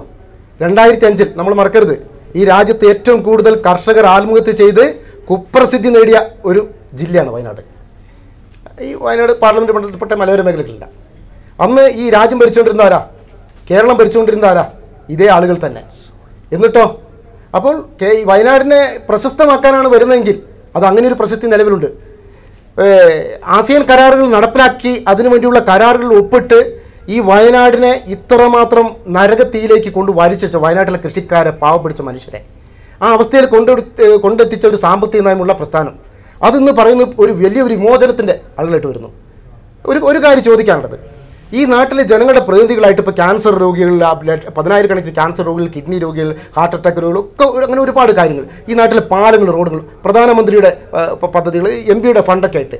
ഈ ഫണ്ടുകളൊക്കെ സ്വന്തം നാടുകളിലേക്ക് വേണമെന്ന് പറയുന്ന സാധാരണ മനുഷ്യൻ ഒരു കൃഷിക്കാരൻ അല്ലെങ്കിൽ തൊഴിലാളി അടക്കമുള്ള സാധാരണക്കാരായ ലക്ഷക്കണക്കിന് മനുഷ്യർ അവർ ഏത് ഭാഷയിലാണ് ഈ ജനപ്രതിയോട് ഇദ്ദേഹം പറഞ്ഞ ഇദ്ദേഹത്തിന്റെ പാർട്ടിയിൽപ്പെട്ട ഈ പ്രശ്നമായി പ്രശ്നം തന്നെയാണ്. മനുഷ്യൻ അവന്റെ മാതൃഭാഷയിലാണല്ലോ എല്ലാ കാര്യങ്ങളും നിർവഹിക്കുന്നത് പിന്നെ ട്രാൻസ്ലേഷന് വേണ്ടി ആളുകളെ കൊണ്ടുവരണം. ഹിന്ദിക്ക് വേണ്ടി അല്ലെങ്കിൽ ഇംഗ്ലീഷിന് വേണ്ടി. ഇവരുടെ ആളുകൾ പോയിട്ട് സ്പോക്കൺ ഇംഗ്ലീഷ് കോഴ്സുകൾ ചെന്ന് ചേരുമെന്ന് നമുക്കറിയില്ല. ഒന്നാമത്തെ കാര്യം അത്. രണ്ട് ഈ രാജ്യത്തെ ഏറ്റവും വലിയ ഇസഡ് സുരക്ഷ ഇതുള്ള സെക്യൂരിറ്റി ഉള്ള ഒരു സംവിധാനത്തിൽ നിൽക്കുന്ന ഒരു ഒരു ആദരണീയനായിട്ടുള്ള വ്യക്തി. അങ്ങനത്തെ അത്രയും അതിപ്രാധാന്യമുള്ള വ്യക്തി. ആ വ്യക്തിയെ ഒന്ന് സന്ദർശിക്കാൻ ഇവർ പറയുന്ന ഒരു മണ്ഡലം പ്രസിഡന്റ് അല്ലെങ്കിൽ ജനപ്രതിനിധികളായിട്ടുള്ള പഞ്ചായത്ത് പ്രസിഡന്റുമാരെ അല്ലെങ്കിൽ ഒരു ഡി സി സി പ്രസിഡന്റിന് പോയിട്ട് ഒരു എം എൽ എക്ക് ഒരു സാധാരണ എം പിക്ക് പോലും കഴിയില്ല. ചിലപ്പോൾ ഇവരുടെ കെ പി സി സി പ്രസിഡന്റിന് കഴിഞ്ഞേക്കാം. എങ്ങനെ ഈ നാട്ടിലെ ജനങ്ങൾ ഈ വയനാട്ടിലെ ജനങ്ങളുടെ വയനാട്ട് ലോക്സഭാ മണ്ഡലത്തിലെ ജനങ്ങളുടെ വികാരങ്ങൾ അവരുടെ ആവശ്യങ്ങൾ അവകാശങ്ങളൊക്കെ എങ്ങനെ ആ പ്രതിനിധി അറിയിക്കും? വൈകാരികമായിട്ടുള്ള ഒരു വിഷയം. ഇപ്പം ഞാനൊരു വിഷയം അവതരിപ്പിക്കുന്നു. ഒരു മൂന്നൊന്നാമൻ വഴി അവതരിപ്പിക്കുന്നതിനേക്കാൾ എന്റെ വൈകാരികമായിട്ടുള്ള വിഷയങ്ങൾ എന്റെ ആവശ്യങ്ങൾ ഏറ്റവും കൂടുതൽ എനിക്കറിയാവുന്ന ഒരു ഭാഷയിൽ അവതരിപ്പിക്കാൻ കഴിയണ്ടേ? അതിന് പറ്റിയ സ്ഥാനാർത്ഥിയാണ് ഇടതുപക്ഷ മുന്നണിയുടെ പി പി സുനീർ. അത് അദ്ദേഹം അവിടെ മത്സരിക്കും അതാണ് ഞങ്ങളുടെ ഒരു ഒരു ബലം. ഇവിടെ ഇവിടെ ഇദ്ദേഹം പറഞ്ഞ ഒരു കാര്യത്തോട് എങ്ങനെ എങ്ങനെ പ്രതികരിക്കാൻ പറ്റും? ഇപ്പോൾ ബി ഡി ജെ എസിന്റെ സ്ഥാനാർത്ഥിത്വം ഉറപ്പാകുമോ ഇല്ലയോ എന്നുള്ളത് അല്പസമയത്തിനുള്ളിൽ അറിയാൻ സാധിക്കും. അപ്പോൾ എങ്ങനെയാണ് ഈ ഒരു സ്ഥാനാർത്ഥിത്വത്തെ കുറിച്ച് തന്നെയാണ് ഇപ്പോൾ ചർച്ച ചെയ്യുന്നത്? ഇവിടെ വിഷയം സ്ഥാനാർത്ഥി തന്നെയാണ്. വയനാട് പാർലമെന്റ് മണ്ഡലം ഞാൻ നേരത്തെ പറഞ്ഞില്ലേ ഈ യു ഡി എഫിനെ സംബന്ധിച്ചിടത്തോളം പൊന്നാപുരം കോട്ടയാണ് കഴിഞ്ഞ ഈ പാർലമെന്റ് ഒരു മണ്ഡലം രൂപീകരിച്ചത് മുതൽ ഈ മണ്ഡലത്തെ പ്രതിദാനം ചെയ്യുന്നത് യു ഡി എഫ് വിഭാഗത്തിൽപ്പെട്ടവരാണ്. പക്ഷേ വയനാടിന്റെ വികസനം വയനാടിന്റെ വികസനം നമ്മൾ ചർച്ച ചെയ്യപ്പെടേണ്ടതാണ്. പക്ഷേ രാഹുൽ ഗാന്ധിയുടെ രംഗപ്രവേശനം കൊണ്ട് ദേശീയ പ്രാധാന്യം ലഭിക്കാവുന്ന ഒരു മണ്ഡലമാണ്. ഒരു സ്വാഭാവികമാണ്. അദ്ദേഹം പറഞ്ഞ കറക്റ്റ് ഒരു ഒരു കാര്യമാണ്. ദേശീയ തലത്തിൽ വളരെ ഇന്റർനാഷണൽ കോൺഗ്രസിന്റെ അഖിലേന്ത്യാ അധ്യക്ഷൻ മത്സരിക്കുന്ന ഒരു മണ്ഡലം എന്ന നിലയിൽ അതിന് പ്രാധാന്യം ഉണ്ടാവും. പക്ഷെ അതിനപ്പുറം ഈ ഈ തെരഞ്ഞെടുപ്പിൽ വരുന്നൊരു ബഹുമായി കാണാൻ സാധിക്കുന്ന മഹാ ഒരു രസ രസകരമായിട്ടുള്ള കാഴ്ച. എന്റെ അടുത്തിരിക്കുന്ന രണ്ടുപേരും അവർ മത്സരിക്കുന്ന സംയുക്ത പ്രധാനമന്ത്രി സ്ഥാനാർത്ഥിയാണ് രാഹുൽ ഗാന്ധി. സ്റ്റാലിന്റെ പാർട്ടി ആർക്ക് വേണ്ടിയാണ് ഈ തെരഞ്ഞെടുപ്പിൽ വോട്ട് ചോദിക്കാൻ പോകുന്നത് എന്നുള്ള സംശയം ഞാൻ നാട്ടിലെ ജനങ്ങൾക്കുണ്ട്. രണ്ട് മഹാസഖ്യത്തിന്റെ പ്രധാനമന്ത്രി സ്ഥാനാർത്ഥി എന്ന നിലയിലും ഒരു പ്രധാനമന്ത്രി സ്ഥാനാർത്ഥിയായി ഇടതുപക്ഷം അല്ലെങ്കിൽ ഈ കോൺഗ്രസ് ഇവർ രണ്ടുപേരും പരസ്പരം ആലിംഗനം ചെയ്തിരിക്കുകയാണ് ഈ നാട്ടിലെ ജനങ്ങളെ കബളിപ്പിക്കുകയാണ്. ഇപ്പോൾ രാഹുൽ ഗാന്ധിയെ ഇന്ത്യയുടെ പ്രധാനമന്ത്രി സ്ഥാനാർത്ഥി എന്ന നിലയിൽ സുരക്ഷിതമായ മണ്ഡലം എന്ന നിലയിലാണ് വയനാട്ടിലേക്ക് വന്നിട്ടുള്ളത്. ഞാൻ നേരത്തെ സൂചിപ്പിച്ചു ഈ തെരഞ്ഞെടുപ്പ് ചർച്ച ചെയ്യപ്പെടാൻ പോകുന്നത് ഈ ദേശീയപരമായിട്ടുള്ള വിഷയങ്ങളാണ്. ഈ നാട് നേരിടുന്ന ഒട്ടനവധി വിഷയങ്ങളുണ്ട്. ആ വിഷയങ്ങൾ ചർച്ച ചെയ്യപ്പെടുന്ന സമയത്ത് ഈ തെരഞ്ഞെടുപ്പ് വളരെ പ്രാധാന്യമുണ്ട്. ഈ തെരഞ്ഞെടുപ്പിൽ ഭാരതീയ ജനതാ പാർട്ടി ബഹുഭൂരിപക്ഷത്തോടെ അധികാരത്തിൽ വരുമെന്ന കാര്യത്തിൽ സംശയം വേണ്ട. അത് രാഹുൽ ഗാന്ധി വന്ന് കേരളത്തിൽ ഇപ്പോൾ ഇവിടെ മത്സരിച്ചതുകൊണ്ട് കേരളത്തിൽ ഒരുപക്ഷെ ഒരു ഒരു ട്രെൻഡ് ഉണ്ടാക്കാൻ സാധിക്കുമായിരിക്കും. അതിനപ്പുറത്തേക്ക് വലിയ മാജിക് ഒന്നും ഉണ്ടാവും എന്നുള്ള പ്രതീക്ഷയൊന്നും രാജ്യത്തെ ജനങ്ങൾക്കില്ല. ശ്രീ കെ വിനയൻ വലിയൊരു ചർച്ച ഇവിടെ നേരത്തെ അദ്ദേഹം പറഞ്ഞതുപോലെ ഒരു ജനപ്രതിനിധിയെ സന്ദർശിക്കുകയോ അദ്ദേഹത്തോട് ഒരു പരാതി പറയുകയോ ചെയ്യേണ്ടി വന്നാൽ ഏത് ഭാഷയിൽ സംവദിക്കും? രണ്ടാമത്തെ കാര്യം സെഡ് കാറ്റഗറി സെക്യൂരിറ്റിയുള്ള ഇത്ര വലിയൊരു V I V V I പിയെ എങ്ങനെ സാധാരണ ജനങ്ങൾക്ക് സമീപിക്കാൻ സാധിക്കും? ഇത്തരം ചോദ്യങ്ങൾക്കൊക്കെ എങ്ങനെ മറുപടി പറയാൻ സാധിക്കും യു ഡി എഫിന്? പുള്ളി ആദ്യം പറഞ്ഞ കർഷക ആത്മഹത്യയെക്കുറിച്ച് ഒരു വാക്ക് പറഞ്ഞിട്ട് ഞാൻ അതിലേക്ക് വരാം. കർഷക ആത്മഹത്യ വയനാട് ജില്ലയിലെ കർഷക ആത്മഹത്യയിൽ നിന്നും ഈ നാട്ടിലെ ജനങ്ങളെ ജീവിതത്തിലേക്ക് തിരിച്ചു കൊണ്ടുവന്ന് കേന്ദ്ര ഗവൺമെന്റ് നടപ്പിലാക്കിയ കേന്ദ്ര കാർഷിക കടാശ്വാസ പദ്ധതിയാണ്. എഴുപത്തിരണ്ടായിരം കോടി രൂപയുടെ വിപ്ലവാത്മകമായ ആ പദ്ധതിയോടുകൂടിയാണ് വയനാട് ജില്ല അതിന്റെ ജീവിതത്തിലേക്ക് ആത്മജീവിതത്തിനും ആത്മഹത്യക്കും ഇടയിലെ നൂൽപാലത്തിലൂടെ സഞ്ചരിച്ചുകൊണ്ടിരുന്ന വയനാട് ജില്ലയിലെ കർഷകരെ ജീവിതത്തിലേക്ക് തിരിച്ചു കൊണ്ടുവന്നത് കോൺഗ്രസും യു പി എ ഗവൺമെന്റുമാണ്. അപ്പോൾ അത് ഈ കർഷക വിഭാഗങ്ങളോടുള്ള ഈ ഗവൺമെന്റിന്റെ ഐക്യദാർഢ്യമാണ്. മധ്യപ്രദേശിൽ നമ്മൾ കണ്ടു ഞാൻ ആ കർഷക വിഷയം പരാമർശിച്ചതുകൊണ്ട് ഒരു കർഷക ജില്ല ആണ് വയനാട് എന്നുള്ളത് കൊണ്ടാണ്. മധ്യപ്രദേശിലെ മൻസോളിൽ ന്യായ വിലയ്ക്ക് വേണ്ടി ജീവിക്കാനുള്ള സാഹചര്യം ഒരുക്കി കൊടുക്കുന്നതിന് വേണ്ടി മധ്യപ്രദേശ് ഭരിക്കുന്ന അന്നത്തെ ബി ജെ പി ഗവൺമെന്റിനെതിരെ പ്രക്ഷോഭം നടത്തിയ കർഷകർക്ക് നേരെ ഗവൺമെന്റ് ഒരു ദാക്ഷിണ്യമില്ലാതെ വെടിവെപ്പ് നടത്തി. ആ വെടിവെപ്പ് ലോകത്ത് ഇന്ത്യയുടെ മുന്നിൽ ചർച്ചയാക്കിയത് കമ്മ്യൂണിസ്റ്റ് പാർട്ടിയല്ല. അല്ലെങ്കിൽ മറ്റേതെങ്കിലും അല്ല രാഹുൽ ഗാന്ധി ആ വെടിപ്പ് വെപ്പ് നടന്ന പ്രദേശത്തേക്ക് നടന്നു പോയപ്പോൾ പോലീസ് തടയുന്ന ഘട്ടമുണ്ടായപ്പോഴാണ്. അദ്ദേഹം മോട്ടോർ സൈക്കിളിലും സൈക്കിളിലും യാത്ര ചെയ്ത പ്രദേശത്തേക്ക് കടന്നു എന്ന് നമ്മൾ കണ്ടു. അപ്പൊ ഞാൻ സൂചിപ്പിച്ചത് ഈ ഇസഡ് കാറ്റഗറി ഒന്നും ഇതിനൊരു ഘടകമല്ല. അദ്ദേഹം ഓരോ പ്രദേശങ്ങളിലും ഗ്രാമീണ ജനങ്ങളോടൊപ്പം നിൽക്കുന്നത് ജനങ്ങളുടെ ഇടയിൽ ചേർത്ത് നിൽക്കുന്നത് ഇത്തരം ഘട്ടങ്ങളിലെല്ലാം ഇത്തരം എല്ലാ സെക്യൂരിറ്റി പ്രതിബന്ധങ്ങളെയും അതിജീവിച്ചുകൊണ്ട് അദ്ദേഹം ആളുകളോടൊപ്പം സഞ്ചരിക്കുന്ന അവരുടെ ഇടയിൽ നിൽക്കുന്ന ഇത് നമ്മൾ കാണുകയാണ്. പിന്നെ ഭാഷയുടെ അതിർവരമ്പുകളൊക്കെ നമ്മൾ ഈ വിശാലമായ ഇന്ത്യ എന്ന് പറയുന്ന ഒരു സംസ്ഥാനത്ത് ഭാഷയുടെ അതിർവരമ്പുകളിലൂടെ മനുഷ്യനെ വിഘടിപ്പിച്ചും വേർതിരിപ്പിച്ചും ഒക്കെ നിർത്തി ഈ ആധുനിക കാലഘട്ടത്തിൽ സഞ്ചരിക്കുക സംസാരിക്കുക എന്ന് പറയുന്നത് പോലും പാടില്ലാത്ത കാര്യമാണ്. വിഷയങ്ങൾ അങ്ങോട്ടും ഇങ്ങോട്ടും എന്തെല്ലാം മാർഗങ്ങൾ ഈ നാട്ടിലിരിക്കുന്നു? അപ്പൊ ഭാഷ പ്രശ്നം ഭാഷ പ്രശ്നമാണ്. നമ്മളെന്താ അത്ര സംസാരിക്കാൻ അറിയില്ലാത്ത ആളുകളാണ്. അല്ലെങ്കിൽ ഈ കാര്യങ്ങൾ അവതരിപ്പിക്കാൻ അറിയില്ലാത്ത ആളുകളാണ്. അപ്പൊ സംസാരിക്കുന്ന കാര്യം പ്രശ്നമാണ്. സെക്യൂരിറ്റി ഇതെല്ലാം ഇവരിൽ രാഹുൽ ഗാന്ധിയുടെ സ്ഥാനാർത്ഥി പ്രഖ്യാപനത്തോടുകൂടി മനസ്സിൽ ഉടലെടുത്തിരിക്കുന്ന ആ ഭയത്തിന്റെ ഭാഗമായിട്ട് ഒന്നിനു പുറകെ ഒന്നായി കാരണങ്ങൾ പറയാൻ. എന്തിനു വേണ്ടി രാഹുൽ ഗാന്ധിക്ക് വോട്ട് നിസാര ഇത്തരം നിസാര കാര്യങ്ങളാണ്. ഇന്ത്യൻ പാർലമെന്റിലേക്ക് വർഗീയതയെ പ്രതിരോധിക്കുന്നതിന് വേണ്ടി വലിയ പോരാട്ടം നടക്കുമ്പോൾ ആ പോരാട്ടത്തിന് നേതൃത്വം കൊടുത്തുകൊണ്ട് രാഹുൽ ഗാന്ധി മത്സരിക്കുമ്പോൾ അതിന് വോട്ട് ചെയ്യാൻ ഓരോ വയനാട്ടുകാരനും ഭാഗ്യം ലഭിക്കുമ്പോൾ അങ്ങനെ ഇന്ത്യയിൽ ആകമാനം ജാതിയുടെ പേരിൽ മതത്തിന്റെ പേരിൽ വർഗത്തിന്റെ പേരിൽ മനുഷ്യനെ വിഘടിപ്പിച്ച് വിഭജിച്ചു നിർത്തുന്ന നരേന്ദ്രമോദിയുടെ വിഭജന രാഷ്ട്രീയത്തെ പ്രതിരോധിക്കുന്നതിനു വേണ്ടി രാജ്യം വോട്ട് ചെയ്യാൻ തയ്യാറെടുക്കുമ്പോൾ അതിന് നേതൃത്വം കൊടുക്കുന്ന രാഹുൽ ഗാന്ധിക്ക് വോട്ട് ചെയ്യാതിരിക്കാൻ പറയുന്ന തീർത്തും ബാലിശമായ കാരണങ്ങൾക്ക് അപ്പുറം ഇതിനൊന്നും അവിടെ അവിടെ അവിടെ മറ്റൊരു ചോദ്യം ഉദിക്കുകയാണ്. നമ്മുടെ പക്ഷത്തു നിന്ന് ഒരു ചോദ്യം ഉദിക്കുന്നത് ഈ തിരുവനന്തപുരം പത്തനംതിട്ട തുടങ്ങിയ നിരവധി മേഖലകൾ ബി ജെ പിയുടെ രാഷ്ട്രീയ നേട്ടങ്ങൾ ഉണ്ടാവാൻ സാധ്യതയുണ്ടെന്ന് പറയുന്ന മണ്ഡലങ്ങളാണ്. എന്തുകൊണ്ട് ബി ജെ പിക്കെതിരെ ഒരു നിലപാടെടുക്കുകയാണെങ്കിൽ അവിടെയൊന്നും ഒരു മണ്ഡലം തെരഞ്ഞെടുത്തില്ല എന്നൊരു ചോദ്യം പ്രസക്തമായിട്ട് ഉയരുന്നുണ്ട്. എന്തുകൊണ്ട്? തിരുവനന്തപുരത്തും പത്തനംതിട്ടയിലും ഈ പറയുന്ന ഒരു സാഹചര്യങ്ങളില്ല. കഴിഞ്ഞ ദിവസങ്ങളിൽ പുറത്തു വന്ന പല ചാനലുകളിലെയും സർവേ റിപ്പോർട്ടുകളെല്ലാം പരിശോധിച്ചാൽ നിങ്ങൾക്കറിയാം. കേരളത്തിൽ ഐക്യ ജനാധിപത്യ മുന്നണിയെ സംബന്ധിച്ചിടത്തോളം തീർത്തും അനുകൂലമായ രാഷ്ട്രീയ കാലാവസ്ഥയാണ്. കേരളത്തിലെ ഇരുപത് പാർലമെന്റ് സീറ്റുകളിലും ഐക്യ ജനാധിപത്യ മുന്നണി കെ പി സി പ്രസിഡന്റിന്റെ വാക്ക് കടമെടുത്താൽ ട്വന്റി ട്വന്റിയാണ് അത്തരം അനുകൂലമായ രാഷ്ട്രീയ സാഹചര്യം വയനാട് ഞാൻ നേരത്തെ സൂചിപ്പിച്ച മൂന്ന് സംസ്ഥാനങ്ങളുമായി അതിർത്ത് പങ്കിടുന്ന ദക്ഷിണേന്ത്യയെ ആഗമാനം പ്രതികരിക്കുന്ന ദക്ഷിണേന്ത്യയിലെ ഗോൾഡൻ ട്രയാങ്കിളിൽ ഞങ്ങളുടെ പ്രസിഡന്റ് മത്സരിക്കുക അതിന്റെ അലയൊലികൾ ഞങ്ങൾ ഈ മൂന്ന് സംസ്ഥാനത്തും പ്രതീക്ഷിക്കുക ദക്ഷിണേന്ത്യയിൽ നിന്നും ഉത്തരേന്ത്യയിൽ നിന്നും പരമാവധി സീറ്റുകൾ സംഘടിപ്പിച്ചുകൊണ്ട് പാർലമെന്റിലെ ഏറ്റവും വലിയ ഒറ്റക്കക്ഷിയാകാനുള്ള ആ ഒരു പോരാട്ടമാണ് നടന്നുകൊണ്ടിരിക്കുന്നത്. അതിന് വയനാട് ജനതയെ സംബന്ധിച്ചിടത്തോളം ദേശീയ രാഷ്ട്രീയം ചുരം കയറി വന്നിരിക്കുന്നു. പൊളിറ്റിക് ഇന്ത്യയുടെ പൊളിറ്റിക്കൽ മാപ്പിൽ ഞാൻ നേരത്തെ സൂചിപ്പിച്ചതുപോലെ വയനാട് ഇടം പിടിച്ചിരിക്കുന്നു. മുന്നോട്ട് വയനാടിന്റെ പിന്നോക്കാവസ്ഥയ്ക്ക് മുന്നോട്ടുള്ള പ്രയാണത്തിനുള്ള ഒരു ചൂണ്ട് പലകയായി രാഹുൽ ഗാന്ധിയുടെ സ്ഥാനാർത്ഥിത്വം മാറാൻ പോവുകയാണ്. ഇടത് ഇടത് രാഷ്ട്രീയം ഇപ്പൊ നേരത്തെ ശ്രീ പി ജി ആനന്ദ്കുമാർ സൂചിപ്പിച്ചതുപോലെ ഇടത് രാഷ്ട്രീയം എന്ന് പറയുന്നത് ഈ ഒരു യു പി എ ഗവൺമെന്റിനൊപ്പം ചേരാൻ പോകുന്നു. പശ്ചിമ ബംഗാളിൽ സമവായ ചർച്ചകൾ നടത്തിയിരിക്കുന്നു. മഹാരാഷ്ട്രയിൽ നടത്തിയിരിക്കുന്നു. തമിഴ്നാട്ടിൽ നടത്തിയിരിക്കുന്നു. അങ്ങനെ പല പ്രദേശങ്ങളിലും ഇടതുപക്ഷവുമായി കൂട്ടുചേർന്നുള്ള ഒരു ഭരണം പ്രതീക്ഷിക്കുന്നു കേന്ദ്രത്തിൽ. പക്ഷേ കേരളത്തിൽ വരുമ്പം വയനാട് ലോക്സഭാ മണ്ഡലത്തിൽ ഒരു സ്ഥാനാർത്ഥിയായി രാഹുൽ ഗാന്ധി വരുന്നു. അതാണ് ശ്രീ പി ജി ആനന്ദകുമാർ സൂചിപ്പിച്ചത്. അതെങ്ങനെ അതിനെങ്ങനെ കാണാം അതവരിപ്പോൾ ഉയർത്തിപ്പിടിക്കാറുള്ള ഒരു കേരളത്തിലെ കേരളത്തിൽ സ്ഥിരമായി പറഞ്ഞുകൊണ്ടിരിക്കുന്ന ഒരു ഒരു ഒരു വാങ്മൊഴിയാണ്.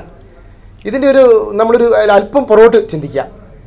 തൊള്ളായിരത്തി എഴുപത്തി ഏഴിൽ മൊറാർജി ദേശായി ഗവൺമെന്റ് രാജ്യം ഭരിച്ചു. കോൺഗ്രസോ ബി ജെ പിയോ അതിൽ ഉണ്ടായിരുന്നില്ല.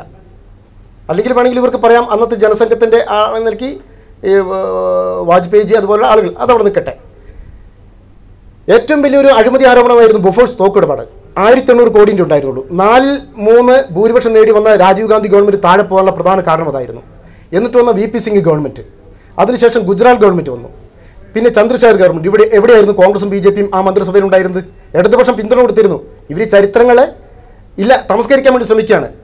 ദേവഗൌഡ് ഗവൺമെന്റിയുടെ നാട് ഭരിച്ചില്ലേ അന്നിവിടെ കോൺഗ്രസിന്റെയോ ബി ജെ പിന്റെയോ മന്ത്രിമാരോ ക്യാബിനറ്റിൽ ഉണ്ടായിട്ടാണോ? അല്ല ഇടതുപക്ഷത്തിന്റെ പിന്തുണ ഉണ്ടായിരുന്നു. അങ്ങനെ പല തവണയായിട്ട് അഞ്ചോളം പ്രധാനമന്ത്രിമാർ ഈ നാട് ഭരിച്ചിട്ടുണ്ട് ചരൺ സിംഗ് അടക്കം. നമ്മൾ മനസ്സിലാക്കേണ്ട ഒരു കാര്യമുണ്ട്. പിന്നെ ഇവർ പറയുന്നത് ഇപ്പോൾ ബി ജെ പി ഏതർത്ഥത്തിൽ അവിടെ ഈ രാജ്യം ഭരിക്കുന്ന ഇനി പറയുന്നത്? ആയിരത്തി എണ്ണൂറ് കോടി രൂപയുടെ ബൊഫേഴ്സ് തോക്കിടപാട് വന്നപ്പോൾ നാലിൽ മൂന്ന് ഭൂരിപക്ഷം ഉണ്ടായിരുന്ന ശ്രീ രാജീവ് ഗാന്ധിയുടെ ഗവൺമെന്റ് താഴെ പോയി.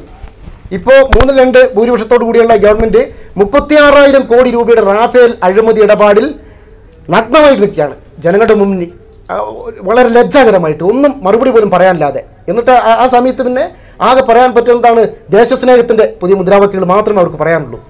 അവരെ കരു കരുപിടിപ്പിച്ചിട്ടില്ലേ അപ്പോൾ ഈ കോൺഗ്രസ് ചില നിർണായക ഘട്ടങ്ങളിൽ ചില പ്രത്യേക ഘട്ടങ്ങളിൽ ഇപ്പോൾ പശുവറച്ചിന്റെ വിഷയം പറഞ്ഞുകൊണ്ട് ദളിതരുടെ വിഷയങ്ങൾ പറഞ്ഞുകൊണ്ട് അതുപോലെ തന്നെ വിശ്വാസത്തിന്റെ ആചാരങ്ങളുടെ പ്രശ്നങ്ങൾ കൊണ്ട് ഭയങ്കരമായ വർഗീയ തീവ്രവാദമായിട്ടുള്ള ഫാസിസ്റ്റ് രീതിയിലുള്ള കലാപങ്ങൾ നടത്തിയപ്പോൾ സമയത്ത് ചില മതേതര ജനാധിപത്യ മൂല്യങ്ങളുള്ള പ്രസ്ഥാനങ്ങളുമായിട്ട് കൂട്ട് ചേർന്നിട്ടുണ്ട്. അത് തെരഞ്ഞെടുപ്പ് മുന്നണിയല്ല. തെരഞ്ഞെടുപ്പ് അത് ഒരു സമര ഐക്യ മുന്നണിയായിട്ട് അതിനെ സങ്കല്പിക്കാൻ പറ്റുള്ളൂ. ഇപ്പോൾ സംഘടനകൾ അതിനെ ഇലക്ഷനുമായിട്ട് കൂട്ടിയോജിപ്പിക്കേണ്ടല്ല. ഞാൻ പറഞ്ഞു വന്നത് കോൺഗ്രസും ബി ജെ പിയും ഇല്ലാത്ത അഞ്ച് പ്രധാനമന്ത്രിമാർ രാജ്യത്തുണ്ടായില്ലേ? ഇടതുപക്ഷം അതിലുണ്ടായിരുന്നു. അവർ ക്യാബിനറ്റിൽ ചേർന്നില്ല. പക്ഷേ ഞങ്ങളുടെ നയങ്ങൾ നടപ്പിലാക്കുന്നതിൽ. ഇപ്പോൾ മണ്ഡൽ കമ്മീഷൻ റിപ്പോർട്ട് അതിനെതിരെ ഏറ്റവും കൂടുതൽ രൂക്ഷമായ സമരങ്ങൾ നടത്തിയിട്ട് ആ സമയത്ത് ജനശ്രദ്ധ തിരിക്കാൻ വേണ്ടി പിന്നെ രാമചന്ദ്ര പ്രശ്നം പറഞ്ഞുകൊണ്ട് ഉന്നയിച്ച് മുന്നോട്ട് പോയതാണ് ബി അന്ന് മണ്ഡൽ കമ്മീഷൻ ഏറ്റവും ശക്തമായിട്ട് എതിർത്തവരാണ്. അന്ന് ബി ജെ പിയുടെ കോൺഗ്രസിന്റെയോ ഒരു ഇതില്ലാതെയാണ് ക്യാബിനറ്റ് ഇല്ലാതെയാണ് ആ മന്ത്രിസഭ തീരുമാനം ഇന്നിപ്പോൾ രാജ്യത്തെ മഹാഭൂരിപക്ഷം വരുന്ന ന്യൂനപക്ഷങ്ങളും ദളിത ഹിന്ദുക്കളും അടക്കമുള്ള പാവപ്പെട്ട മനുഷ്യർ. ഇന്ന് സർക്കാർ സംവിധാനങ്ങളിലും ഒക്കെ കയറുന്നത് ആ ഇരുപത്തെട്ട് ശതമാനം എന്ന് പറയുന്ന മണ്ഡൽ കമ്മീഷനിലൂടെ. അതെങ്ങനെയാണ് വന്നത്? രാജ്യത്ത് അങ്ങനെ ഒട്ടനവധി കാര്യങ്ങൾ ഇപ്പോൾ ഇവർ പറയുന്നു. കടാശ്വാസ കമ്മീഷൻ. കടാശ്വാസ കമ്മീഷൻ വരുന്നത് രണ്ടായിരത്തി ആറ് രണ്ടായിരത്തി ആറ് ജനുവരി ജൂൺ മാസത്തിൽ വി എസ് അച്യുതാനന്ദൻ ഗവൺമെന്റാണ് കടാശ്വാസ കമ്മീഷൻ എന്നുള്ള സംവിധാനം കേരളത്തിൽ കൊണ്ടുവരുന്നത്. ഇന്ത്യയ്ക്ക് അതിന് അത് മുമ്പ് ഉണ്ടായിരുന്നു. അമ്പത്തേഴിലെ കമ്മ്യൂണിസ്റ്റ് ഗവൺമെന്റിന്റെ കാലത്ത് ഉണ്ടായിട്ടുണ്ട്. അവർ ഉദ്ദേശിച്ച് ചിലപ്പോൾ കടം എഴുതി തള്ളിയതായിരിക്കാം. ആ കടം എഴുതി തള്ളിയിൽ പോലും ആ ഗവൺമെന്റിനെ പിന്തുണച്ച് മൻമോഹൻ സിംഗ് ഗവൺമെന്റിനെ മൂന്നര കൊല്ലത്തോളം പിന്തുണച്ച ഇടതുപക്ഷത്തിന്റെ നയങ്ങൾ ഇപ്പോൾ വിവരാവകാശ പ്രക നിയമങ്ങൾ ആ സമയത്ത് വന്നതാണ്. ഞങ്ങൾ അവരെ പിന്തുണച്ച സമയത്ത് വന്നിട്ടുള്ളതാണ്. പിന്തുണച്ചിട്ടുണ്ട്. ക്യാബിനറ്റിൽ കയറിയിട്ടില്ല. പക്ഷേ ഞങ്ങളുടെ നയങ്ങൾ ഇടതുപക്ഷത്തിന്റെ അങ്ങനെ അങ്ങനെ വീണ്ടും ഗ്രാമീണ തൊഴിലുറപ്പ്. പിന്തുണയ്ക്കപ്പെടുകയാണെങ്കിൽ പിന്നീട് എന്താണ് ഈ ഒരു തെരഞ്ഞെടുപ്പിനോട് പ്രസക്തി എന്നാണ് ശ്രീ പി ജി അവരെ അവരെ പിന്തുണയ്ക്കാതെ തന്നെ ഗവൺമെന്റ് ഉണ്ടാക്കാമെന്ന് ഇവിടെ തെളിയിച്ചല്ലേ അതല്ലേ ഞാൻ നേരത്തെ പറഞ്ഞത്. മൊറാർജി ദേശായിയുടെ ചരൺ സിംഗിന്റെ വി പി സിംഗിന്റെ അടക്കമുള്ള ഗവൺമെന്റുകൾ. എന്തിനാ നമ്മൾ അങ്ങോട്ട് പോകുന്നത്? ഇവർക്ക് എങ്ങനെ. കഴിയും? അഴിമതി സ്വപ്നം മാത്രമാണ്. ഏതായാലും ശുഭാപ്തി വിശ്വാസം നല്ലതാണ്. മറ്റൊന്ന് ഈ സ്റ്റാലിൻ എന്ത് സംശയം? ഇന്ത്യ രാജ്യത്ത് നടക്കാൻ പോകുന്ന തെരഞ്ഞെടുപ്പിൽ ഇടതുപക്ഷ പ്രസ്ഥാനങ്ങൾ മത്സരിക്കുന്ന എത്ര സീറ്റിൽ മത്സരിക്കുന്നുണ്ട്? പാർലമെന്റിലേക്ക് നടക്കുന്ന തെരഞ്ഞെടുപ്പിൽ കേവലം ഇരുപതോ ഇരുപത്തിമൂന്നോ സീറ്റുകളിലാണ് ഇടതുപക്ഷ പ്രസ്ഥാനങ്ങൾ മത്സരിക്കുന്നത്. നിങ്ങൾ മത്സരം കാഴ്ചവെക്കുന്നത് പ്രധാനമന്ത്രി സ്ഥാനാർത്ഥിയാർ ഇന്ത്യയുടെ പ്രധാനമന്ത്രി സ്ഥാനാർത്ഥിയായിട്ട് നിങ്ങൾ ആരെയാണ് മുന്നോട്ട് വെച്ചിട്ടുള്ളത്? നിങ്ങൾക്ക് ആകെയുള്ള പോംവഴി ഇന്ത്യയുടെ പ്രധാനമന്ത്രിയായിട്ട് ആ പ്രധാനമന്ത്രി സ്ഥാനാർത്ഥിയായിട്ട് മത്സരിക്കുന്ന രാഹുൽ ഗാന്ധിയുടെ പുറകെ പോകണം. ഒരുപക്ഷേ ഈ വിപ്ലവ പാർട്ടി എന്ന് പറയുന്ന പാർട്ടി ഇതിനു മുമ്പും ദേശീയ തലത്തിൽ കോൺഗ്രസിന്റെ പാദങ്ങളിൽ പോയി തൊട്ടുള്ള പാർട്ടിയാണ്. സോണിയാഗാന്ധിയുടെ അടുത്ത് പോയിട്ട് സാഷ്ടാംഗം പ്രണമിച്ചിട്ടുള്ള പാർട്ടിയാണ്. നിങ്ങൾ കൂട്ടുചേർന്നിട്ടുള്ള പാർട്ടിയാണ്. ആ പാർട്ടി ഈ രാജ്യത്തെ ജനങ്ങളെ വഞ്ചിക്കുകയാണ്. ഇവിടെ ജനങ്ങളെ ഈ നാട്ടിലെ ജനങ്ങളുടെ വോട്ട് വാങ്ങി ജയിച്ചു കഴിഞ്ഞാൽ നിങ്ങൾ പല സ്ഥലത്തും നടത്തുന്ന അഡ്ജസ്റ്റ്മെന്റുകൾ അത് എല്ലാവർക്കും അറിയാവുന്ന കാര്യമാണ്. അതുകൊണ്ട് ഈ തെരഞ്ഞെടുപ്പ് ദേശീയ ഞാൻ നേരത്തെ സൂചിപ്പിച്ചു ദേശീയ രാഷ്ട്രീയത്തിൽ ഒരു മാറ്റത്തിന് വേണ്ടിയ തെരഞ്ഞെടുപ്പാണ്. രണ്ട് ഭാഷയുടെയും ദളിതനെന്നും നമ്പ് സവർണനെന്നും അവർണെന്നും ഒക്കെ പറഞ്ഞിട്ടുള്ള ചേരുതിരിവുണ്ടാക്കാൻ ശ്രമിക്കുകയാണ് ഇപ്പോൾ നിങ്ങൾ. കോൺഗ്രസിന്റെ ഭാഗത്താണ് ശരി സ്റ്റാലിന്റെ പാർട്ടിയുടെ ഭാഗത്താണ് ശരി ഇടതുപക്ഷ പ്രസ്ഥാനങ്ങളുടെ ഭാഗത്താണ് ശരി. ഇവിടെ ദേശീയതയാണ് ഭാരതീയ ജനതാ പാർട്ടി ഉയർത്തിപ്പിടിച്ചിട്ടുള്ളത്. കച്ച് മുതൽ കാശ്മീരം വരെയുള്ള ഒരു സംസ്കാരമാണ്. ആ സംസ്കാരത്തെയാണ് ഉയർത്തിപ്പിടിച്ചിട്ടുള്ളത്. അതുകൊണ്ട് തീർച്ചയായിട്ടും ഈ എൻ ഡി എ സർക്കാർ അൻപത്തഞ്ച് മാസക്കാലം രാജ്യത്ത് നടപ്പിലാക്കിയിട്ടുള്ള വികസന പ്രവർത്തനങ്ങളെ ആ വികസന പ്രവർത്തനങ്ങളിൽ ഈ രാജ്യത്തെ ജനങ്ങൾ വോട്ട് ചെയ്യുമെന്ന കാര്യത്തിൽ ആരും സംശയമാണ് ഏറ്റവും അടുത്ത് ഒരു കാര്യം കൂടി ഏറ്റവും അടുത്ത് കാർഷിക മേഖലയുടെ പ്രശ്നം പറഞ്ഞു. കാർഷിക മേഖലയെ സംബന്ധിച്ചിടത്തോളം നമുക്കറിയാം കർഷകരെ ദുരിതം അനുഭവിക്കുന്ന കർഷകരുണ്ട്. പക്ഷെ ആ കർഷകർക്ക് ഒരു കൈത്താങ്ങായി. കഴിഞ്ഞ ബഡ്ജറ്റിൽ കഴിഞ്ഞ ബഡ്ജറ്റിൽ പീയൂഷ് ഗോയൽ പ്രഖ്യാപിച്ചിട്ടുള്ള ആ ബഡ്ജറ്റിൽ ഇന്ത്യയിലെ പന്ത്രണ്ട് കോടി കർഷകർക്ക് പന്ത്രണ്ട് കോടി കർഷകർക്ക് രണ്ടായിരം രൂപ തോതിൽ ലഭിക്കുന്ന ഒരു പദ്ധതി പ്രഖ്യാപിക്കപ്പെട്ടു. ആ പദ്ധതി കിസാൻ സാമാൻ ജ്യോതി എന്ന് പറയുന്ന ആ പദ്ധതി അതിന്റെ അടുത്ത ദിവസം അടുത്ത ദിവസം തന്നെ അത് അത് പ്രാവർത്തികമായി ഈ രാജ്യത്തെ ജനങ്ങളുടെ കർഷകരുടെ അക്കൗണ്ടുകളിലേക്ക് പണം വന്നുകൊണ്ടിരിക്കുന്നു. രണ്ടാമത്തെ കാര്യം കേരളത്തിൽ നിങ്ങൾ ഇപ്പോൾ കർഷക സ്നേഹമൊക്കെ പറഞ്ഞല്ലോ കേരളത്തിൽ ഈ പദ്ധതി നടപ്പിലാക്കുന്ന കാര്യത്തിൽ ഫെബ്രുവരി മാസം എട്ടാം തീയതി അത് വിവിധ സംസ്ഥാനങ്ങൾ കേരളം ഒഴിച്ചുള്ള മറ്റ് സംസ്ഥാനങ്ങളിലെ എല്ലാം തന്നെ ഈ പദ്ധതി നടപ്പിലാക്കാനുള്ള ശ്രമം ആരംഭിച്ചു. അപേക്ഷകൾ ക്ഷണിച്ചു. കൃഷിവൻ മുഖാന്തര അപേക്ഷകൾ ക്ഷണിച്ചു. കേരളത്തിൽ ഇടതുപക്ഷ ഗവൺമെന്റ് കേന്ദ്രം കൊണ്ടുവന്നൊരു പദ്ധതി ആയതുകൊണ്ട് മാത്രം അത് അട്ടിമറിക്കാൻ സ്റ്റാലിന്റെ പാർട്ടിയുടെ മന്ത്രിയാണ് കൃഷിമന്ത്രി. അട്ടിമറിക്കാനുള്ള ശ്രമമാണ് നടത്തിയിട്ടുള്ളത്. അതിന്റെ ഏറ്റവും വലിയ ഉദാഹരണം ഫെബ്രുവരി മാസം പതിനെട്ടാം തീയതി പതിനെട്ടാം തീയതിയാണ് അത് ഔദ്യോഗികമായിട്ട് കേരളത്തിൽ പ്രഖ്യാപിച്ചത്. രണ്ടോ മൂന്നോ ദിവസമാണ് കേരളത്തിൽ സമയം കിട്ടിയത്. അത് പിന്നീട് ബി ജെ പി അടക്കമുള്ള മറ്റ് ഇതര രാഷ്ട്രീയ പാർട്ടികളുടെ സമ്മർദ്ദത്തിന്റെ ഫലമായിട്ട് കുറച്ചും കൂടി സമയം നീട്ടിക്കൊടുത്തു മാർച്ച് മുപ്പത്തൊന്ന് വരെ. ഒന്നുകൂടി ഒന്നുകൂടി നമുക്ക് ഇത് ഇതിലേക്ക് വരാം. നമ്മുടെ ചർച്ചയിലേക്ക് വരാം. കാര്യം സ്ഥാനാർത്ഥി പ്രഖ്യാപനം തന്നെയാണ് ഇപ്പോഴത്തെ നമ്മുടെ ചർച്ച. അല്ലേ? തീർച്ചയായും. എങ്ങനെയാണ് ബി ജെ പി ഇത്രത്തോളം വരളി പിടിക്കുന്നുണ്ട്? ബി ഡി ജെ എസിൽ നിന്നും സീറ്റ് തിരിച്ചെടുക്കുമെന്നൊരു ഘട്ടത്തിൽ പറഞ്ഞു. വീണ്ടും ബി ഡി ജെ എസിലേക്ക് പോകുന്നു. എത്രത്തോളം എഫക്റ്റ് ഉണ്ടാക്കാൻ പറ്റും ബി ജെ പിയുടെ ഒരു സ്ഥാനാർത്ഥി തന്നെ ഇവിടെ മത്സരത്തിന് ഇറങ്ങി അങ്ങനെ ഒരു വലിയ ഒരു ചർച്ചയൊന്നും ഇതിൽ നടന്നിട്ടില്ല. ഞാൻ നേരത്തെ സൂചിപ്പിച്ചല്ലോ. ബി ഡി ജെ എസിന് കൊടുത്തുള്ള സീറ്റിൽ മത്സരിക്കേണ്ടത് അവരാണ് തീരുമാനമെടുക്കേണ്ടത് ബി ഡി ജെ എസ് ആണ്. ആ തീരുമാനം തുഷാർ വെള്ളാപ്പള്ളി വയനാട്ടിൽ വയനാട് പാർലമെന്റിൽ മത്സരിക്കും എന്നുള്ളതാണ് ഇപ്പോൾ ഇതുവരെ ലഭിച്ചിരിക്കുന്ന സൂചനകൾ. അങ്ങനെയാണെങ്കിൽ അങ്ങനെ അങ്ങനെയാണെങ്കിൽ അങ്ങനെ ഒരു സൂചന ബി ജെ പിയുടെ തുഷാർ വെള്ളാപ്പള്ളി വരുന്നു പി പി സുനീർ സ്ഥാനാർത്ഥിയാകുന്നു. എത്രത്തോളം എഫക്റ്റ് ഉണ്ടാവും? മാത്രമല്ല മറ്റൊരു ചോദ്യം കൂടി ശ്രീ കെ വിനയനോട് നൂറ്റി മുപ്പത്തിരണ്ടോളം സീറ്റുകളാണ് ദക്ഷിണേന്ത്യയിൽ മുഴുവനായും കണക്കാക്കപ്പെടുന്നത്. കേരള കർണാടക തമിഴ്നാട് ആന്ധ്രാപ്രദേശ് തെലങ്കാന. ഗോവ പോണ്ടിച്ചേരി ലക്ഷദ്വീപിൽ ഒരു സീറ്റ് അടക്കം നൂറ്റി മുപ്പത്തിരണ്ടോളം സീറ്റുകൾ ദക്ഷിണേന്ത്യയിൽ കണക്കാക്കപ്പെടുന്നുണ്ട്. കഴിഞ്ഞ തവണ ലഭിച്ച സീറ്റുകളുടെ എണ്ണം മുഴുവനായിട്ട് അറിയാൻ പറ്റും. ഒരുപക്ഷെ ദക്ഷിണേന്ത്യയിൽ നിന്നാണ് ഏറ്റവും കൂടുതൽ സീറ്റുകൾ ഉള്ളത് എന്ന് തന്നെ പറയാൻ പറ്റും. അമ്പതോളം സീറ്റുകളിൽ യു പി എ ഒതുങ്ങിപ്പോയപ്പോൾ അതിൽ ഭൂരിപക്ഷം സീറ്റുകളിൽ ലഭിച്ചത് ദക്ഷിണേന്ത്യയിൽ നിന്നാണ്. അവിടെ ദക്ഷിണേന്ത്യയിൽ ഈ രാഹുൽ ഗാന്ധിയുടെ വരവോടുകൂടി നൂറ്റി മുപ്പത്തിരണ്ടോളം സീറ്റുകളിൽ എത്ര വ്യതിചലനം ഉണ്ടാക്കാൻ സാധിക്കും? പ്രത്യേകിച്ച് വയനാട് ലോക്സഭാ മണ്ഡലത്തിലെ സ്ഥാനാർത്ഥിയായി അദ്ദേഹം വരുന്നു എന്നുള്ളത് കൊണ്ട് എങ്ങനെ കണക്കാക്കുന്നതിനെ ദക്ഷിണേന്ത്യയിൽ ദക്ഷിണേന്ത്യയിൽ മാത്രമല്ല ഇന്ത്യയിൽ ആകമാനം കഴിഞ്ഞ ലോക്സഭാ തെരഞ്ഞെടുപ്പിൽ നിന്നും രാഷ്ട്രീയ സാഹചര്യം മാറിയിരിക്കുകയാണ്. രാജസ്ഥാൻ കഴിഞ്ഞ ലോക്സഭാ തെരഞ്ഞെടുപ്പിൽ സീറ്റില്ലാത്ത ഒരു സംസ്ഥാനമായിരുന്നു. മധ്യപ്രദേശിൽ രണ്ട് സീറ്റ് മാത്രമേ ഉണ്ടായിരുന്നു ഗുജറാത്തിൽ സീറ്റില്ലാത്ത സംസ്ഥാനങ്ങൾ. ഗുജറാത്ത് ഒഴിച്ച് മധ്യപ്രദേശിൽ രാജസ്ഥാനിൽ ഛത്തീസ്ഗഡിൽ എല്ലാം സംസ്ഥാന ഭരണം കോൺഗ്രസ് തിരിച്ചുപിടിച്ചിരിക്കുകയാണ്. ഇവിടെയെല്ലാം ബി ജെ പിയുമായി കോൺഗ്രസ് നേരിട്ട് മത്സരിക്കുന്നു. ദക്ഷിണേന്ത്യയിൽ കർണാടക ജെ എസ് എസിനോടൊപ്പം സഖ്യം ചേർന്നുകൊണ്ട് അവിടുത്തെ ഭൂരിഭാഗം സീറ്റും ജയിക്കാൻ ഉതകുന്ന സ്ഥലത്തിലേക്ക് രാഷ്ട്രീയ സാഹചര്യം മാറിയിരിക്കുന്നു. അത് രാഹുൽ ഗാന്ധിയുടെ വരവോടുകൂടി വളരെ ഗൗരവത്തോടുകൂടി ഈ പ്രദേശത്തെ നോക്കിക്കാണുന്നു എന്നൊരു സന്ദേശം വോട്ടർമാരിലേക്ക് കൈമാറുന്നതോടുകൂടി കർണാടകയിൽ ഇങ്ങ് കേരളത്തിൽ തമിഴ്നാട്ടിൽ ഡി എം കെയുടെ ഡി എം കെയോടൊപ്പം ചേർന്നുകൊണ്ട് മത്സരിക്കും ഈ സംസ്ഥാനങ്ങളിൽ നിന്നെല്ലാം ഭൂരിഭാഗം സീറ്റുകളും ഐക്യ യു പി എ ഗവൺമെന്റിന് അനുകൂലമായി കോൺഗ്രസിന് അനുകൂലമായി നേടിയെടുക്കുന്ന ഒരു സാഹചര്യം ഈ ഈ അദ്ദേഹത്തിന്റെ സ്ഥാനാർത്ഥിത്വത്തോടു കൂടി മാറിയ രാഷ്ട്രീയ സാഹചര്യത്തിൽ ബി ജെ പിയെ എതിർക്കാൻ ബി ജെ പി മുന്നോട്ട് വെക്കുന്ന ഇന്ത്യയിലെ വിഭജന രാഷ്ട്രീയത്തെ എതിർക്കാൻ കോൺഗ്രസിന് മാത്രമേ കഴിയൂ എന്ന തരത്തിലേക്ക് ഈ രാജ്യം എത്തിച്ചേർന്നിരിക്കുകയാണ്. സീതാറാം യെച്ചൂരി അദ്ദേഹം പോളിറ്റ് ബ്യൂറോയിൽ അവതരിപ്പിച്ച സി പി എമ്മിന്റെ കേന്ദ്ര കമ്മിറ്റിയിൽ അവതരിപ്പിച്ച കോൺഗ്രസുമായി പരസ്യമായ സഖ്യം ആവശ്യമാണ് എന്ന തരത്തിലേക്ക് അദ്ദേഹത്തെ ചിന്തിപ്പിച്ച ഘടകവും അത് തന്നെയാണ്. നിങ്ങൾ ശ്രദ്ധിച്ചിട്ടുണ്ടോ എന്നറിയില്ല. സീതാറാം യെച്ചൂരിയുടെ കേരളത്തിലെ ഇലക്ഷൻ പര്യടന ഷെഡ്യൂൾ പ്രഖ്യാപിച്ചപ്പോൾ അതിൽ വയനാട് ലോക്സഭാ മണ്ഡലം ഇല്ല. കാരണം ഈ മതേതര ജനാധിപത്യ ചേരിക്ക് നേതൃത്വം കൊടുക്കുന്ന രാഹുൽ ഗാന്ധി മത്സരിക്കുന്ന ഒരു മണ്ഡലത്തിൽ പോയി ആ ഇതിന് എതിരെ പ്രസംഗിക്കാൻ അതിനെതിരെ സംസാരിക്കാൻ കമ്മ്യൂണിസ്റ്റ് പാർട്ടിയുടെ അഖിലേന്ത്യാ സെക്രട്ടറി തയ്യാറല്ല എന്നാണ് നമ്മൾ അതിൽ നിന്ന് മനസ്സിലാക്കേണ്ടത്.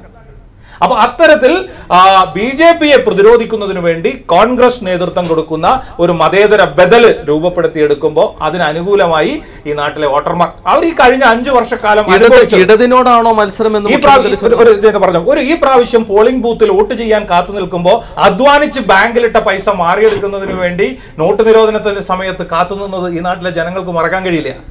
നാല് ശതമാനവും പന്ത്രണ്ട് ശതമാനവും നികുതി ഉണ്ടായിരുന്നതിനെ വാറ്റ് നികുതിയെ ജി എസ് ടി ആയി പരിഷ്കരിച്ച് ഇരുപത്തിയെട്ട് ശതമാനം വരെ നികുതി സാധാരണക്കാരന്റെ മേലെ അടിച്ചേൽപ്പിച്ചതിനെ ഈ നാട്ടിലെ ജനങ്ങൾക്ക് മറക്കാൻ കഴിയില്ല. അങ്ങനെ റാഫേൽ അഴിമതി ഇവിടെ നേരത്തെ സൂചിപ്പിച്ചതുപോലെ മുപ്പത്തിയാറായിരം കോടി രൂപയുടെ രാജ്യം നടുങ്ങിപ്പോകുന്ന അതിഭീകരമായ അഴിമതിക്ക് നേതൃത്വം കൊടുത്ത. ഇവിടെ ഒരു ഗവൺമെന്റിനെ തുടരാൻ ഈ നാട്ടിലെ ജനങ്ങൾ ഭരണത്തിൽ തുടരാൻ അനുവദിക്കാൻ ഈ നാട്ടിലെ ജനങ്ങൾ ആഗ്രഹിക്കുന്നില്ല. അവിടെ ഇത്തരം പ്രതിഷേധങ്ങൾക്ക് പ്രക്ഷോഭങ്ങൾക്ക് എല്ലാം നേതൃത്വം കൊടുത്ത് കഴിഞ്ഞ അഞ്ചു വർഷക്കാലം പ്രതിപക്ഷത്ത് പ്രവർത്തനങ്ങളെ ഏകോപിപ്പിച്ച് ഇന്ത്യയുടെ മനസ്സ് ഒരു ഇന്ത്യയുടെ മതേതരത്വവും ഇന്ത്യയുടെ ഐക്യവും അഖണ്ഡതയും കാത്തു സൂക്ഷിക്കുന്ന ഒരു മതേതര സർക്കാർ അധികാരത്തിൽ വരുന്നതിന് അനുകൂലമായി രൂപപ്പെട്ടിരിക്കുന്നു. അതിന് രാഹുൽ ഗാന്ധി മുന്നിൽ നിന്ന് നേതൃത്വം കൊടുക്കുകയാണ്. വയനാട്ടുകാരന് അതിന് വോട്ട് ചെയ്യാനുള്ള ഭാഗ്യം നമ്മുടെ ചർച്ച അവസാനിപ്പിക്കാൻ സമയത്ത് പറഞ്ഞോളൂ. ശ്രീ പി ജി ആനന്ദ്കുമാർ പറഞ്ഞൊരു കാര്യം. രണ്ടായിരം രൂപ കൃഷിക്കാർക്ക് കൊടുത്തു എന്ന ഈ അൻപത്തി ഒൻപതാമത്തെ മാസത്തിൽ അറുപത് മാസം തികയുന്ന ഈ അഞ്ചാം വർഷത്തിൽ അമ്പത്തൊമ്പതാമത്തെ മാസത്തിൽ രണ്ടായിരം രൂപ വെച്ച് കൊടുത്തതിനെ കുറിച്ച് അഭിമാനകരമായിട്ട് പറയുന്നത്. പതിനഞ്ച് ലക്ഷം കൊടുക്കുമെന്ന് പറഞ്ഞ ജനങ്ങളോടാണ് രണ്ട് രണ്ടായിരം രൂപ എന്തിനു വേണ്ടിയിട്ട്? ഇതിപ്പോൾ ഇപ്പോൾ പല സംസ്ഥാനങ്ങളിലും നമ്മൾ കണ്ടിട്ടുണ്ട്. സാരി കൊടുക്കുന്നു ഇലക്ഷന്റെ സമയത്ത് ടി വി കൊടുക്കുന്നു. ഇതിപ്പോൾ സർക്കാരിന്റെ പൈസ എടുത്ത് കൊടുക്കുന്നുള്ള വ്യത്യാസം മാത്രമേ ഉള്ളൂ ഈ അവസാന ഘട്ടത്തിൽ. എന്താ ഇവർ രണ്ടു കൂട്ടരും ചെയ്യുന്ന പരിപാടി? ആസിയാൻ കരാറിൽ ഒപ്പിട്ടതിന് ശേഷമാണ് ആ കരാറിന്റെ വിയറ്റ്നാമിൽ നിന്നും കൊളംബോയിൽ നിന്നൊക്കെ ഇറക്കുമതി. രൂക്ഷമായി തുടർന്നാണ് ഈ വയനാട്ടിലെ കൃഷിക്കാർ പിടിച്ചു നിൽക്കാനാവാതെ ആയിരക്കണക്കിനാണ് ഞങ്ങൾ ആത്മഹത്യ ചെയ്ത് ആ ആത്മഹത്യ ചെയ്ത ആസിയാൻ കരാർ അതിശക്തമായിട്ട് ഈ നരേന്ദ്രമോദി ഗവൺമെന്റ് ശക്തമായി കൊണ്ടുവരും. ഇപ്പോൾ കഴിഞ്ഞ ജനുവരിയിൽ ഒപ്പിട്ട് നിങ്ങൾ കണ്ടില്ലേ? പാൽ ഇറക്കുമതി ചെയ്യുന്നതിനുള്ള കരാറിൽ ഒപ്പിട്ടു. എന്ന് പറഞ്ഞാൽ ഇപ്പോൾ മുപ്പത്തിരണ്ട് മുപ്പത്തിമൂന്ന് മുപ്പത്തിനാല് രൂപയൊക്കെ വയനാട്ടിലെ സൊസൈറ്റിയിൽ കിട്ടുന്ന പാലിന് ഇനി വിയറ്റ്നാമിൽ നിന്നും ശ്രീലങ്കയിൽ നിന്നും വരാൻ പോകുന്നതാരോ യാസിയൻ കരാറിലെ പത്ത് രാഷ്ട്രങ്ങളിൽ നിന്ന് എവിടെ നിന്ന് വേണമെങ്കിലും ഇറക്കാം. ഇറക്കുമതി ചെയ്താൽ സംഭവിക്കാൻ പോണത് എന്താ? പതിനെട്ട് രൂപയ്ക്കും പത്തൊമ്പത് രൂപയ്ക്കൊക്കെ ഇവിടെ കടകളിലും സാധാരണ ഉപഭോക്താക്കൾക്കും പാൽ കിട്ടുമ്പോൾ ഇതിന് തിക്തഫലം അനുഭവിക്കാമെന്ന് പറയാം. ഈ കോൺഗ്രസും ഈ ബി ജെ പിയും ഒരു നാണയത്തിന്റെ കൃഷിക്കാരെ താഴ്ത്തുകൊണ്ട് കോർപ്പറേറ്റുകളെ വളർത്തുന്ന സാമ്പത്തിക നയത്തിന്റെ ഒരു നാണയത്തിന്റെ രണ്ട് വശങ്ങൾ മാത്രമാണ്. അല്ല അവിടെ നമ്മൾ പ്രസക്തമായിട്ട് നമ്മൾ ചർച്ച അവസാനിപ്പിക്കാൻ സമയമായതുകൊണ്ട് ചോദിക്കുകയാണ്. ഒരു താങ്കൾക്ക് സമയം തരാം. ഈ പി പി സുനീറിന്റെ സ്ഥാനാർത്ഥിത്വം എത്രത്തോളം വിജയം പ്രതീക്ഷിക്കുന്നു? നമുക്ക് അവസാനിപ്പിക്കാൻ സമയമായി. കഴിഞ്ഞ ഇരുപത്തിയൊന്ന് ദിവസങ്ങൾക്കിടയിൽ നേരത്തെ പറഞ്ഞ പോലെ മുന്നൂറോളം ഗ്രാമങ്ങളിൽ അതായത് പ്രദേശങ്ങളിൽ നിന്നായിട്ട് സ്വീകരണ കേന്ദ്രങ്ങളിലായിട്ട് മൂന്നര ലക്ഷത്തോളം ആളുകളെ കണ്ടു കഴിഞ്ഞു വളരെ വളരെ മുന്നിലാണ്. വളരെ ആത്മവിശ്വാസം ഞങ്ങൾക്കുണ്ട്. ഞങ്ങൾ ഈ സ്ഥാനാർത്ഥിത്വത്തെ ഇവർ പ്രഖ്യാപിച്ചില്ലെങ്കിൽ പോലും മനസ്സിൽ സങ്കല്പിച്ചുകൊണ്ടാണ് കഴിഞ്ഞ ഒരു എട്ട് ഒൻപത് ദിവസമായിട്ട് ഈ പ്രവർത്തനം നടന്നു പോകുന്നത്. കൂടുതൽ ഊർജസ്വലമായിരിക്കും. ഈ സ്ഥാനാർത്ഥി പ്രഖ്യാപനമാണ് നമുക്ക് ഏറ്റവും പ്രധാനപ്പെട്ട വിഷയം. ദേശീയ രാഷ്ട്രീയത്തിൽ നിങ്ങൾ വഴുതി പോകുന്നു. സ്ഥാനാർത്ഥി പ്രഖ്യാപനത്തിൽ മാത്രം ദേശീയ ദേശീയ രാഷ്ട്രീയം പറഞ്ഞു പറഞ്ഞോളൂ. അല്ല ഇവിടെ ഈ റാഫേൽ അഴിമതിയെക്കുറിച്ചൊക്കെ ഇവിടെ സൂചിപ്പിച്ചു. കോൺഗ്രസ് ഓരോ ദിവസവും ഓരോ അഴിമതിയുടെ കഥകളാണ് പുറത്തേക്ക് കൊണ്ടുവരുന്നത്. ഓരോ ദിവസവും. ആ കൊണ്ടുവരുന്ന അഴിമതി കഥകൾക്ക് ഒരു പത്ത് മിനിറ്റ് പോലും ആയുസില്ല അതിനെ ആ അത് ജനങ്ങൾ തിരിച്ചറിയുവാണ്. കാരണം പരാജിത ഭീതി മൂലം ഇന്ത്യൻ നാഷണൽ കോൺഗ്രസ് രാഹുൽ ഗാന്ധി ആ രാഹുൽ ഗാന്ധിക്ക് എഴുതി കൊടുക്കുന്ന അദ്ദേഹത്തിന് എഴുതി കൊടുക്കുന്ന കുറേ കാര്യങ്ങൾ കൊണ്ടുവന്ന് മേശപ്പുറത്ത് വയ്ക്കുന്നു. ഇവിടെ സി എ ജി റിപ്പോർട്ടൊക്കെ പുറത്തു വന്ന സമയത്ത് ഇതിന്റെ യഥാർത്ഥം ജനങ്ങൾ കണ്ടതാണ്. റാഫേൽ അഴിമതിയെക്കുറിച്ചിട്ടുമൊക്കെ ഉള്ള യഥാർത്ഥ വശം ജനങ്ങൾ കണ്ടതാണ്. മറ്റൊന്ന് കോൺഗ്രസിന്റെ ഒട്ടനവധി നേതാക്കന്മാർ ദേശീയ നേതാക്കന്മാർ ദേശീയ തലത്തിൽ പ്രവർത്തിക്കുന്നവർ കേന്ദ്രമന്ത്രിമാർ. ആ കേന്ദ്രമന്ത്രി കഴിഞ്ഞ അറുപത് വർഷക്കാലം നടത്തിയിട്ടുള്ള അഴിമതികളുടെ ചരിത്രം രാജ്യത്തുണ്ട്. അറുപത് വർഷം നടത്തിയിട്ടുള്ള ഈ അഴിമതിയുടെ ചരിത്രം രാജ്യം ഒരു ടെലികോൺ മന്ത്രി ഉണ്ടായിരുന്നു. കിടക്കയുടെ അടിയിൽ നോട്ട് കെട്ട് വെച്ച് കിടന്നുറങ്ങിയിട്ടുള്ള ടെലികോൺ മന്ത്രി കോൺഗ്രസിന് ഉണ്ടായിരുന്നു. മറ്റൊന്നുള്ളത് ഇവിടെ നേരത്തെ ഇദ്ദേഹം സൂചിപ്പിച്ചു ബോഫേഴ്സ് കോട്ട് തോക്കിടപാട്. കോൺഗ്രസിന്റെ പ്രധാനമന്ത്രിമാർ കോൺഗ്രസിന്റെ നേതാക്കന്മാർ ദേശീയ നേതാക്കന്മാർ എല്ലാവരും അഴിമതിയിൽ മുങ്ങിയിട്ടുള്ളവരാണ്. ഞാൻ ചോദിക്കുന്നത് അറുപത് വർഷക്കാലം ഇന്ത്യ രാജ്യം ഭരിച്ചിട്ടുള്ള ഇന്ത്യൻ നാഷണൽ കോൺഗ്രസ്സിന് അൻപത്തഞ്ച് മാസക്കാലം ഇന്ത്യ ഭരിച്ചിട്ടുള്ള രാജ് നരേന്ദ്രമോദിയെ എതിർക്കാൻ ഇത്രത്തോളം അഴിമതി കഥകൾ കൊണ്ടുവന്നിട്ട് വേണം. ഇത്ര അഴിമതി കഥകൾ പുറത്തു കൊണ്ടുവന്ന് ഒരു ജനങ്ങളുടെ ഇടയിൽ ഒരു ഒരു തരത്തിലുള്ള ഒരു സംശയത്തിന് ഇടകൊടുക്കുന്ന തരത്തിലുള്ള പ്രവർത്തനങ്ങളാണ് ഇവർ ചെയ്തുകൊണ്ടിരിക്കുന്നത്. മറ്റൊന്നുള്ളത് ഈ അൻപത്തഞ്ച് മാസക്കാലം കൊണ്ട് ഇന്ത്യ രാജ്യത്ത് നടക്കുന്നത്. ഇവിടെ ഇത് മാത്രമല്ല രണ്ടായിരം രൂപ കൊടുത്ത മാത്രമൊന്നുമല്ല. എട്ട് കോടി സ്ത്രീകൾക്ക് ഉജ്ജൽ ഗ്യാസ് പദ്ധതി പ്രകാരം അവർക്ക് ഗ്യാസ് കണക്ഷൻ സൗജന്യമായിട്ട് കൊടുക്കുന്ന പദ്ധതി. മുദ്ര ലോൺ അതേപോലെയുള്ള നമ്മുടെ സുകന്യ സമൃദ്ധി യോജന ഏറ്റവും അടുത്തായിട്ട് വന്ന ആയുഷ്മാൻ ഭാരത് എന്ന് പറയുന്ന പദ്ധതി അഞ്ച് ലക്ഷം രൂപയുടെ ഇതൊന്നും ഇലക്ഷൻ പ്രഖ്യാപിച്ചപ്പോൾ ഈ ഗവൺമെന്റ് പ്രവർത്തനം ആരംഭിച്ച കാലഘട്ടം മുതൽ ഇരുന്നൂറ്റി എൺപത്തി രണ്ടോളം വികസന പദ്ധതികൾ ഈ രാജ്യത്തെ ജനങ്ങൾക്ക് വേണ്ടി സമർപ്പിച്ചിട്ടുണ്ട്. ആ പദ്ധതികളുടെ ഞാൻ പറഞ്ഞ അതിന്റെ ഒരു ഒരു പ്രതിഫലനം ഈ തെരഞ്ഞെടുപ്പിലുണ്ടാവും. മറ്റൊന്നും സ്ഥാനാർത്ഥിയെക്കുറിച്ചുള്ള ചർച്ച. രാഹുൽ ഗാന്ധി ഈ ഉത്തരേന്ത്യൻ സംസ്ഥാന വടക്കേന്ത്യൻ സംസ്ഥാനങ്ങളിൽ വടക്കേന്ത്യൻ സംസ്ഥാനങ്ങൾ കോൺഗ്രസ് കാലിടറുന്നു. അതുകൊണ്ട് ഉത്തരേന്ത്യയിലെ ചില സംസ്ഥാനങ്ങളിൽ അവരുടെ വേരുറപ്പിക്കാൻ അവർക്ക് ഒരു ഒരു അംഗസംഖ്യ കൂട്ടുന്നതിന് വേണ്ടി രാഹുൽ ഗാന്ധിയെ ഇങ്ങോട്ട് ഇറക്കുമതി ചെയ്തിട്ടുള്ളതാണ്. അതിനപ്പുറം അതിനൊന്നും കാണുന്നില്ല. രാഹുൽ ഗാന്ധിയുടെ ഈ രംഗപ്രവേശനം കോൺഗ്രസിനെ സംബന്ധിച്ചിടത്തോളം പരാജയത്തിന്റെ ഇതിൽ മുന്നിലാണ് നിൽക്കുന്നത്. പരാജയ ഭീതിയിലാണ്. വടക്കേ ഇന്ത്യൻ സംസ്ഥാനങ്ങളിൽ ബി ജെ പിയുടെ മുന്നോ മുന്നോട്ടം തെക്കേ നമ്മുടെ ദക്ഷിണേന്ത്യ സംസ്ഥാനങ്ങളിൽ ഭാരതീയ ജനതാ പാർട്ടിക്ക് ഉണ്ടാകാൻ പോകുന്ന വലിയ അത്ഭുതപൂർവമായിട്ടുള്ള വളർച്ച ഇതെല്ലാവരും മനസ്സിലാക്കുന്നു.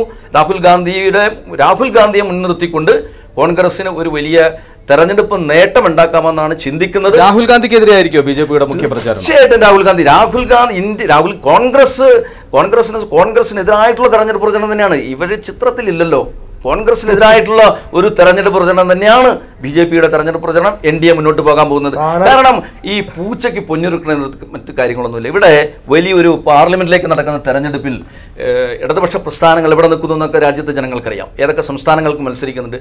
ഇനി ഇത് മത്സരിച്ച് കഴിഞ്ഞാൽ ഞാൻ നേരത്തെ പറയും ഇവരൊക്കെ ഒന്നിച്ച് ഒരു നാണയത്തിന്റെ ഇരുവശങ്ങളിൽ തയാമി സിരട്ടകളെ പോലെ നിൽക്കാൻ പോകുന്നവരാണ്. ഞാൻ സംശയം ഏതായാലും ന്യൂസ് ആൻഡ് ടോക്കിലെ ചർച്ച സ്ഥാനാർത്ഥിത്വത്തെക്കുറിച്ചായിരുന്നു ദേശീയ രാഷ്ട്രീയത്തിലേക്കൊക്കെ വഴിമാറി നമ്മൾ സഞ്ചരിച്ചു. വളരെ വ്യക്തമായ സൂചനകൾ നൽകിക്കൊണ്ടാണ് രാഷ്ട്രീയ പാർട്ടികൾ കടുത്ത പോരാട്ടം വയനാട് ലോക്സഭാ മണ്ഡലത്തിൽ നടക്കും.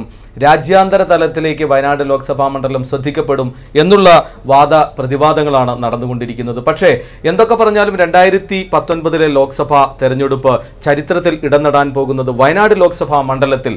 തീർച്ചയായും കേരളത്തിലെ ഒരു ലോക്സഭാ മണ്ഡലത്തിൽ ആദ്യമായി ദേശീയ നേതൃത്വത്തിൽപ്പെട്ട ഒരാൾ പ്രത്യേകിച്ച് വയൽനാടെന്ന വയനാടിന്റെ പിന്നാക്ക മേഖലകളിലെ ഒരുപാട് പ്രശ്നങ്ങൾ അഭിമുഖീകരിക്കുന്ന ഒരു ജില്ലയിലെ പ്രധാന പോരാട്ടം നടക്കുന്ന മേഖലയായി ലോകത്താകമാനമുള്ള രാഷ്ട്രീയ നേതൃത്വം രാഷ്ട്രീയ നിരീക്ഷകർ ഉറ്റുനോക്കുമ്പോൾ ശ്രദ്ധാകേന്ദ്രമാകും വയനാട് ലോക്സഭാ മണ്ഡലം എന്നുള്ള കാര്യത്തിൽ സംശയമില്ല. കാത്തിരുന്ന് കാണാം തെരഞ്ഞെടുപ്പിന്റെ മറ്റു മേഖലകളിലെ ചർച്ചകളുമായി ന്യൂസ് ആൻഡ് ടോക്ക് അടുത്ത ആഴ്ച വീണ്ടും കാണും വരെ. തൽക്കാലം വിട പറയുന്നു ഞാൻ റാഷിദ് മുഹമ്മദ്. Good bye.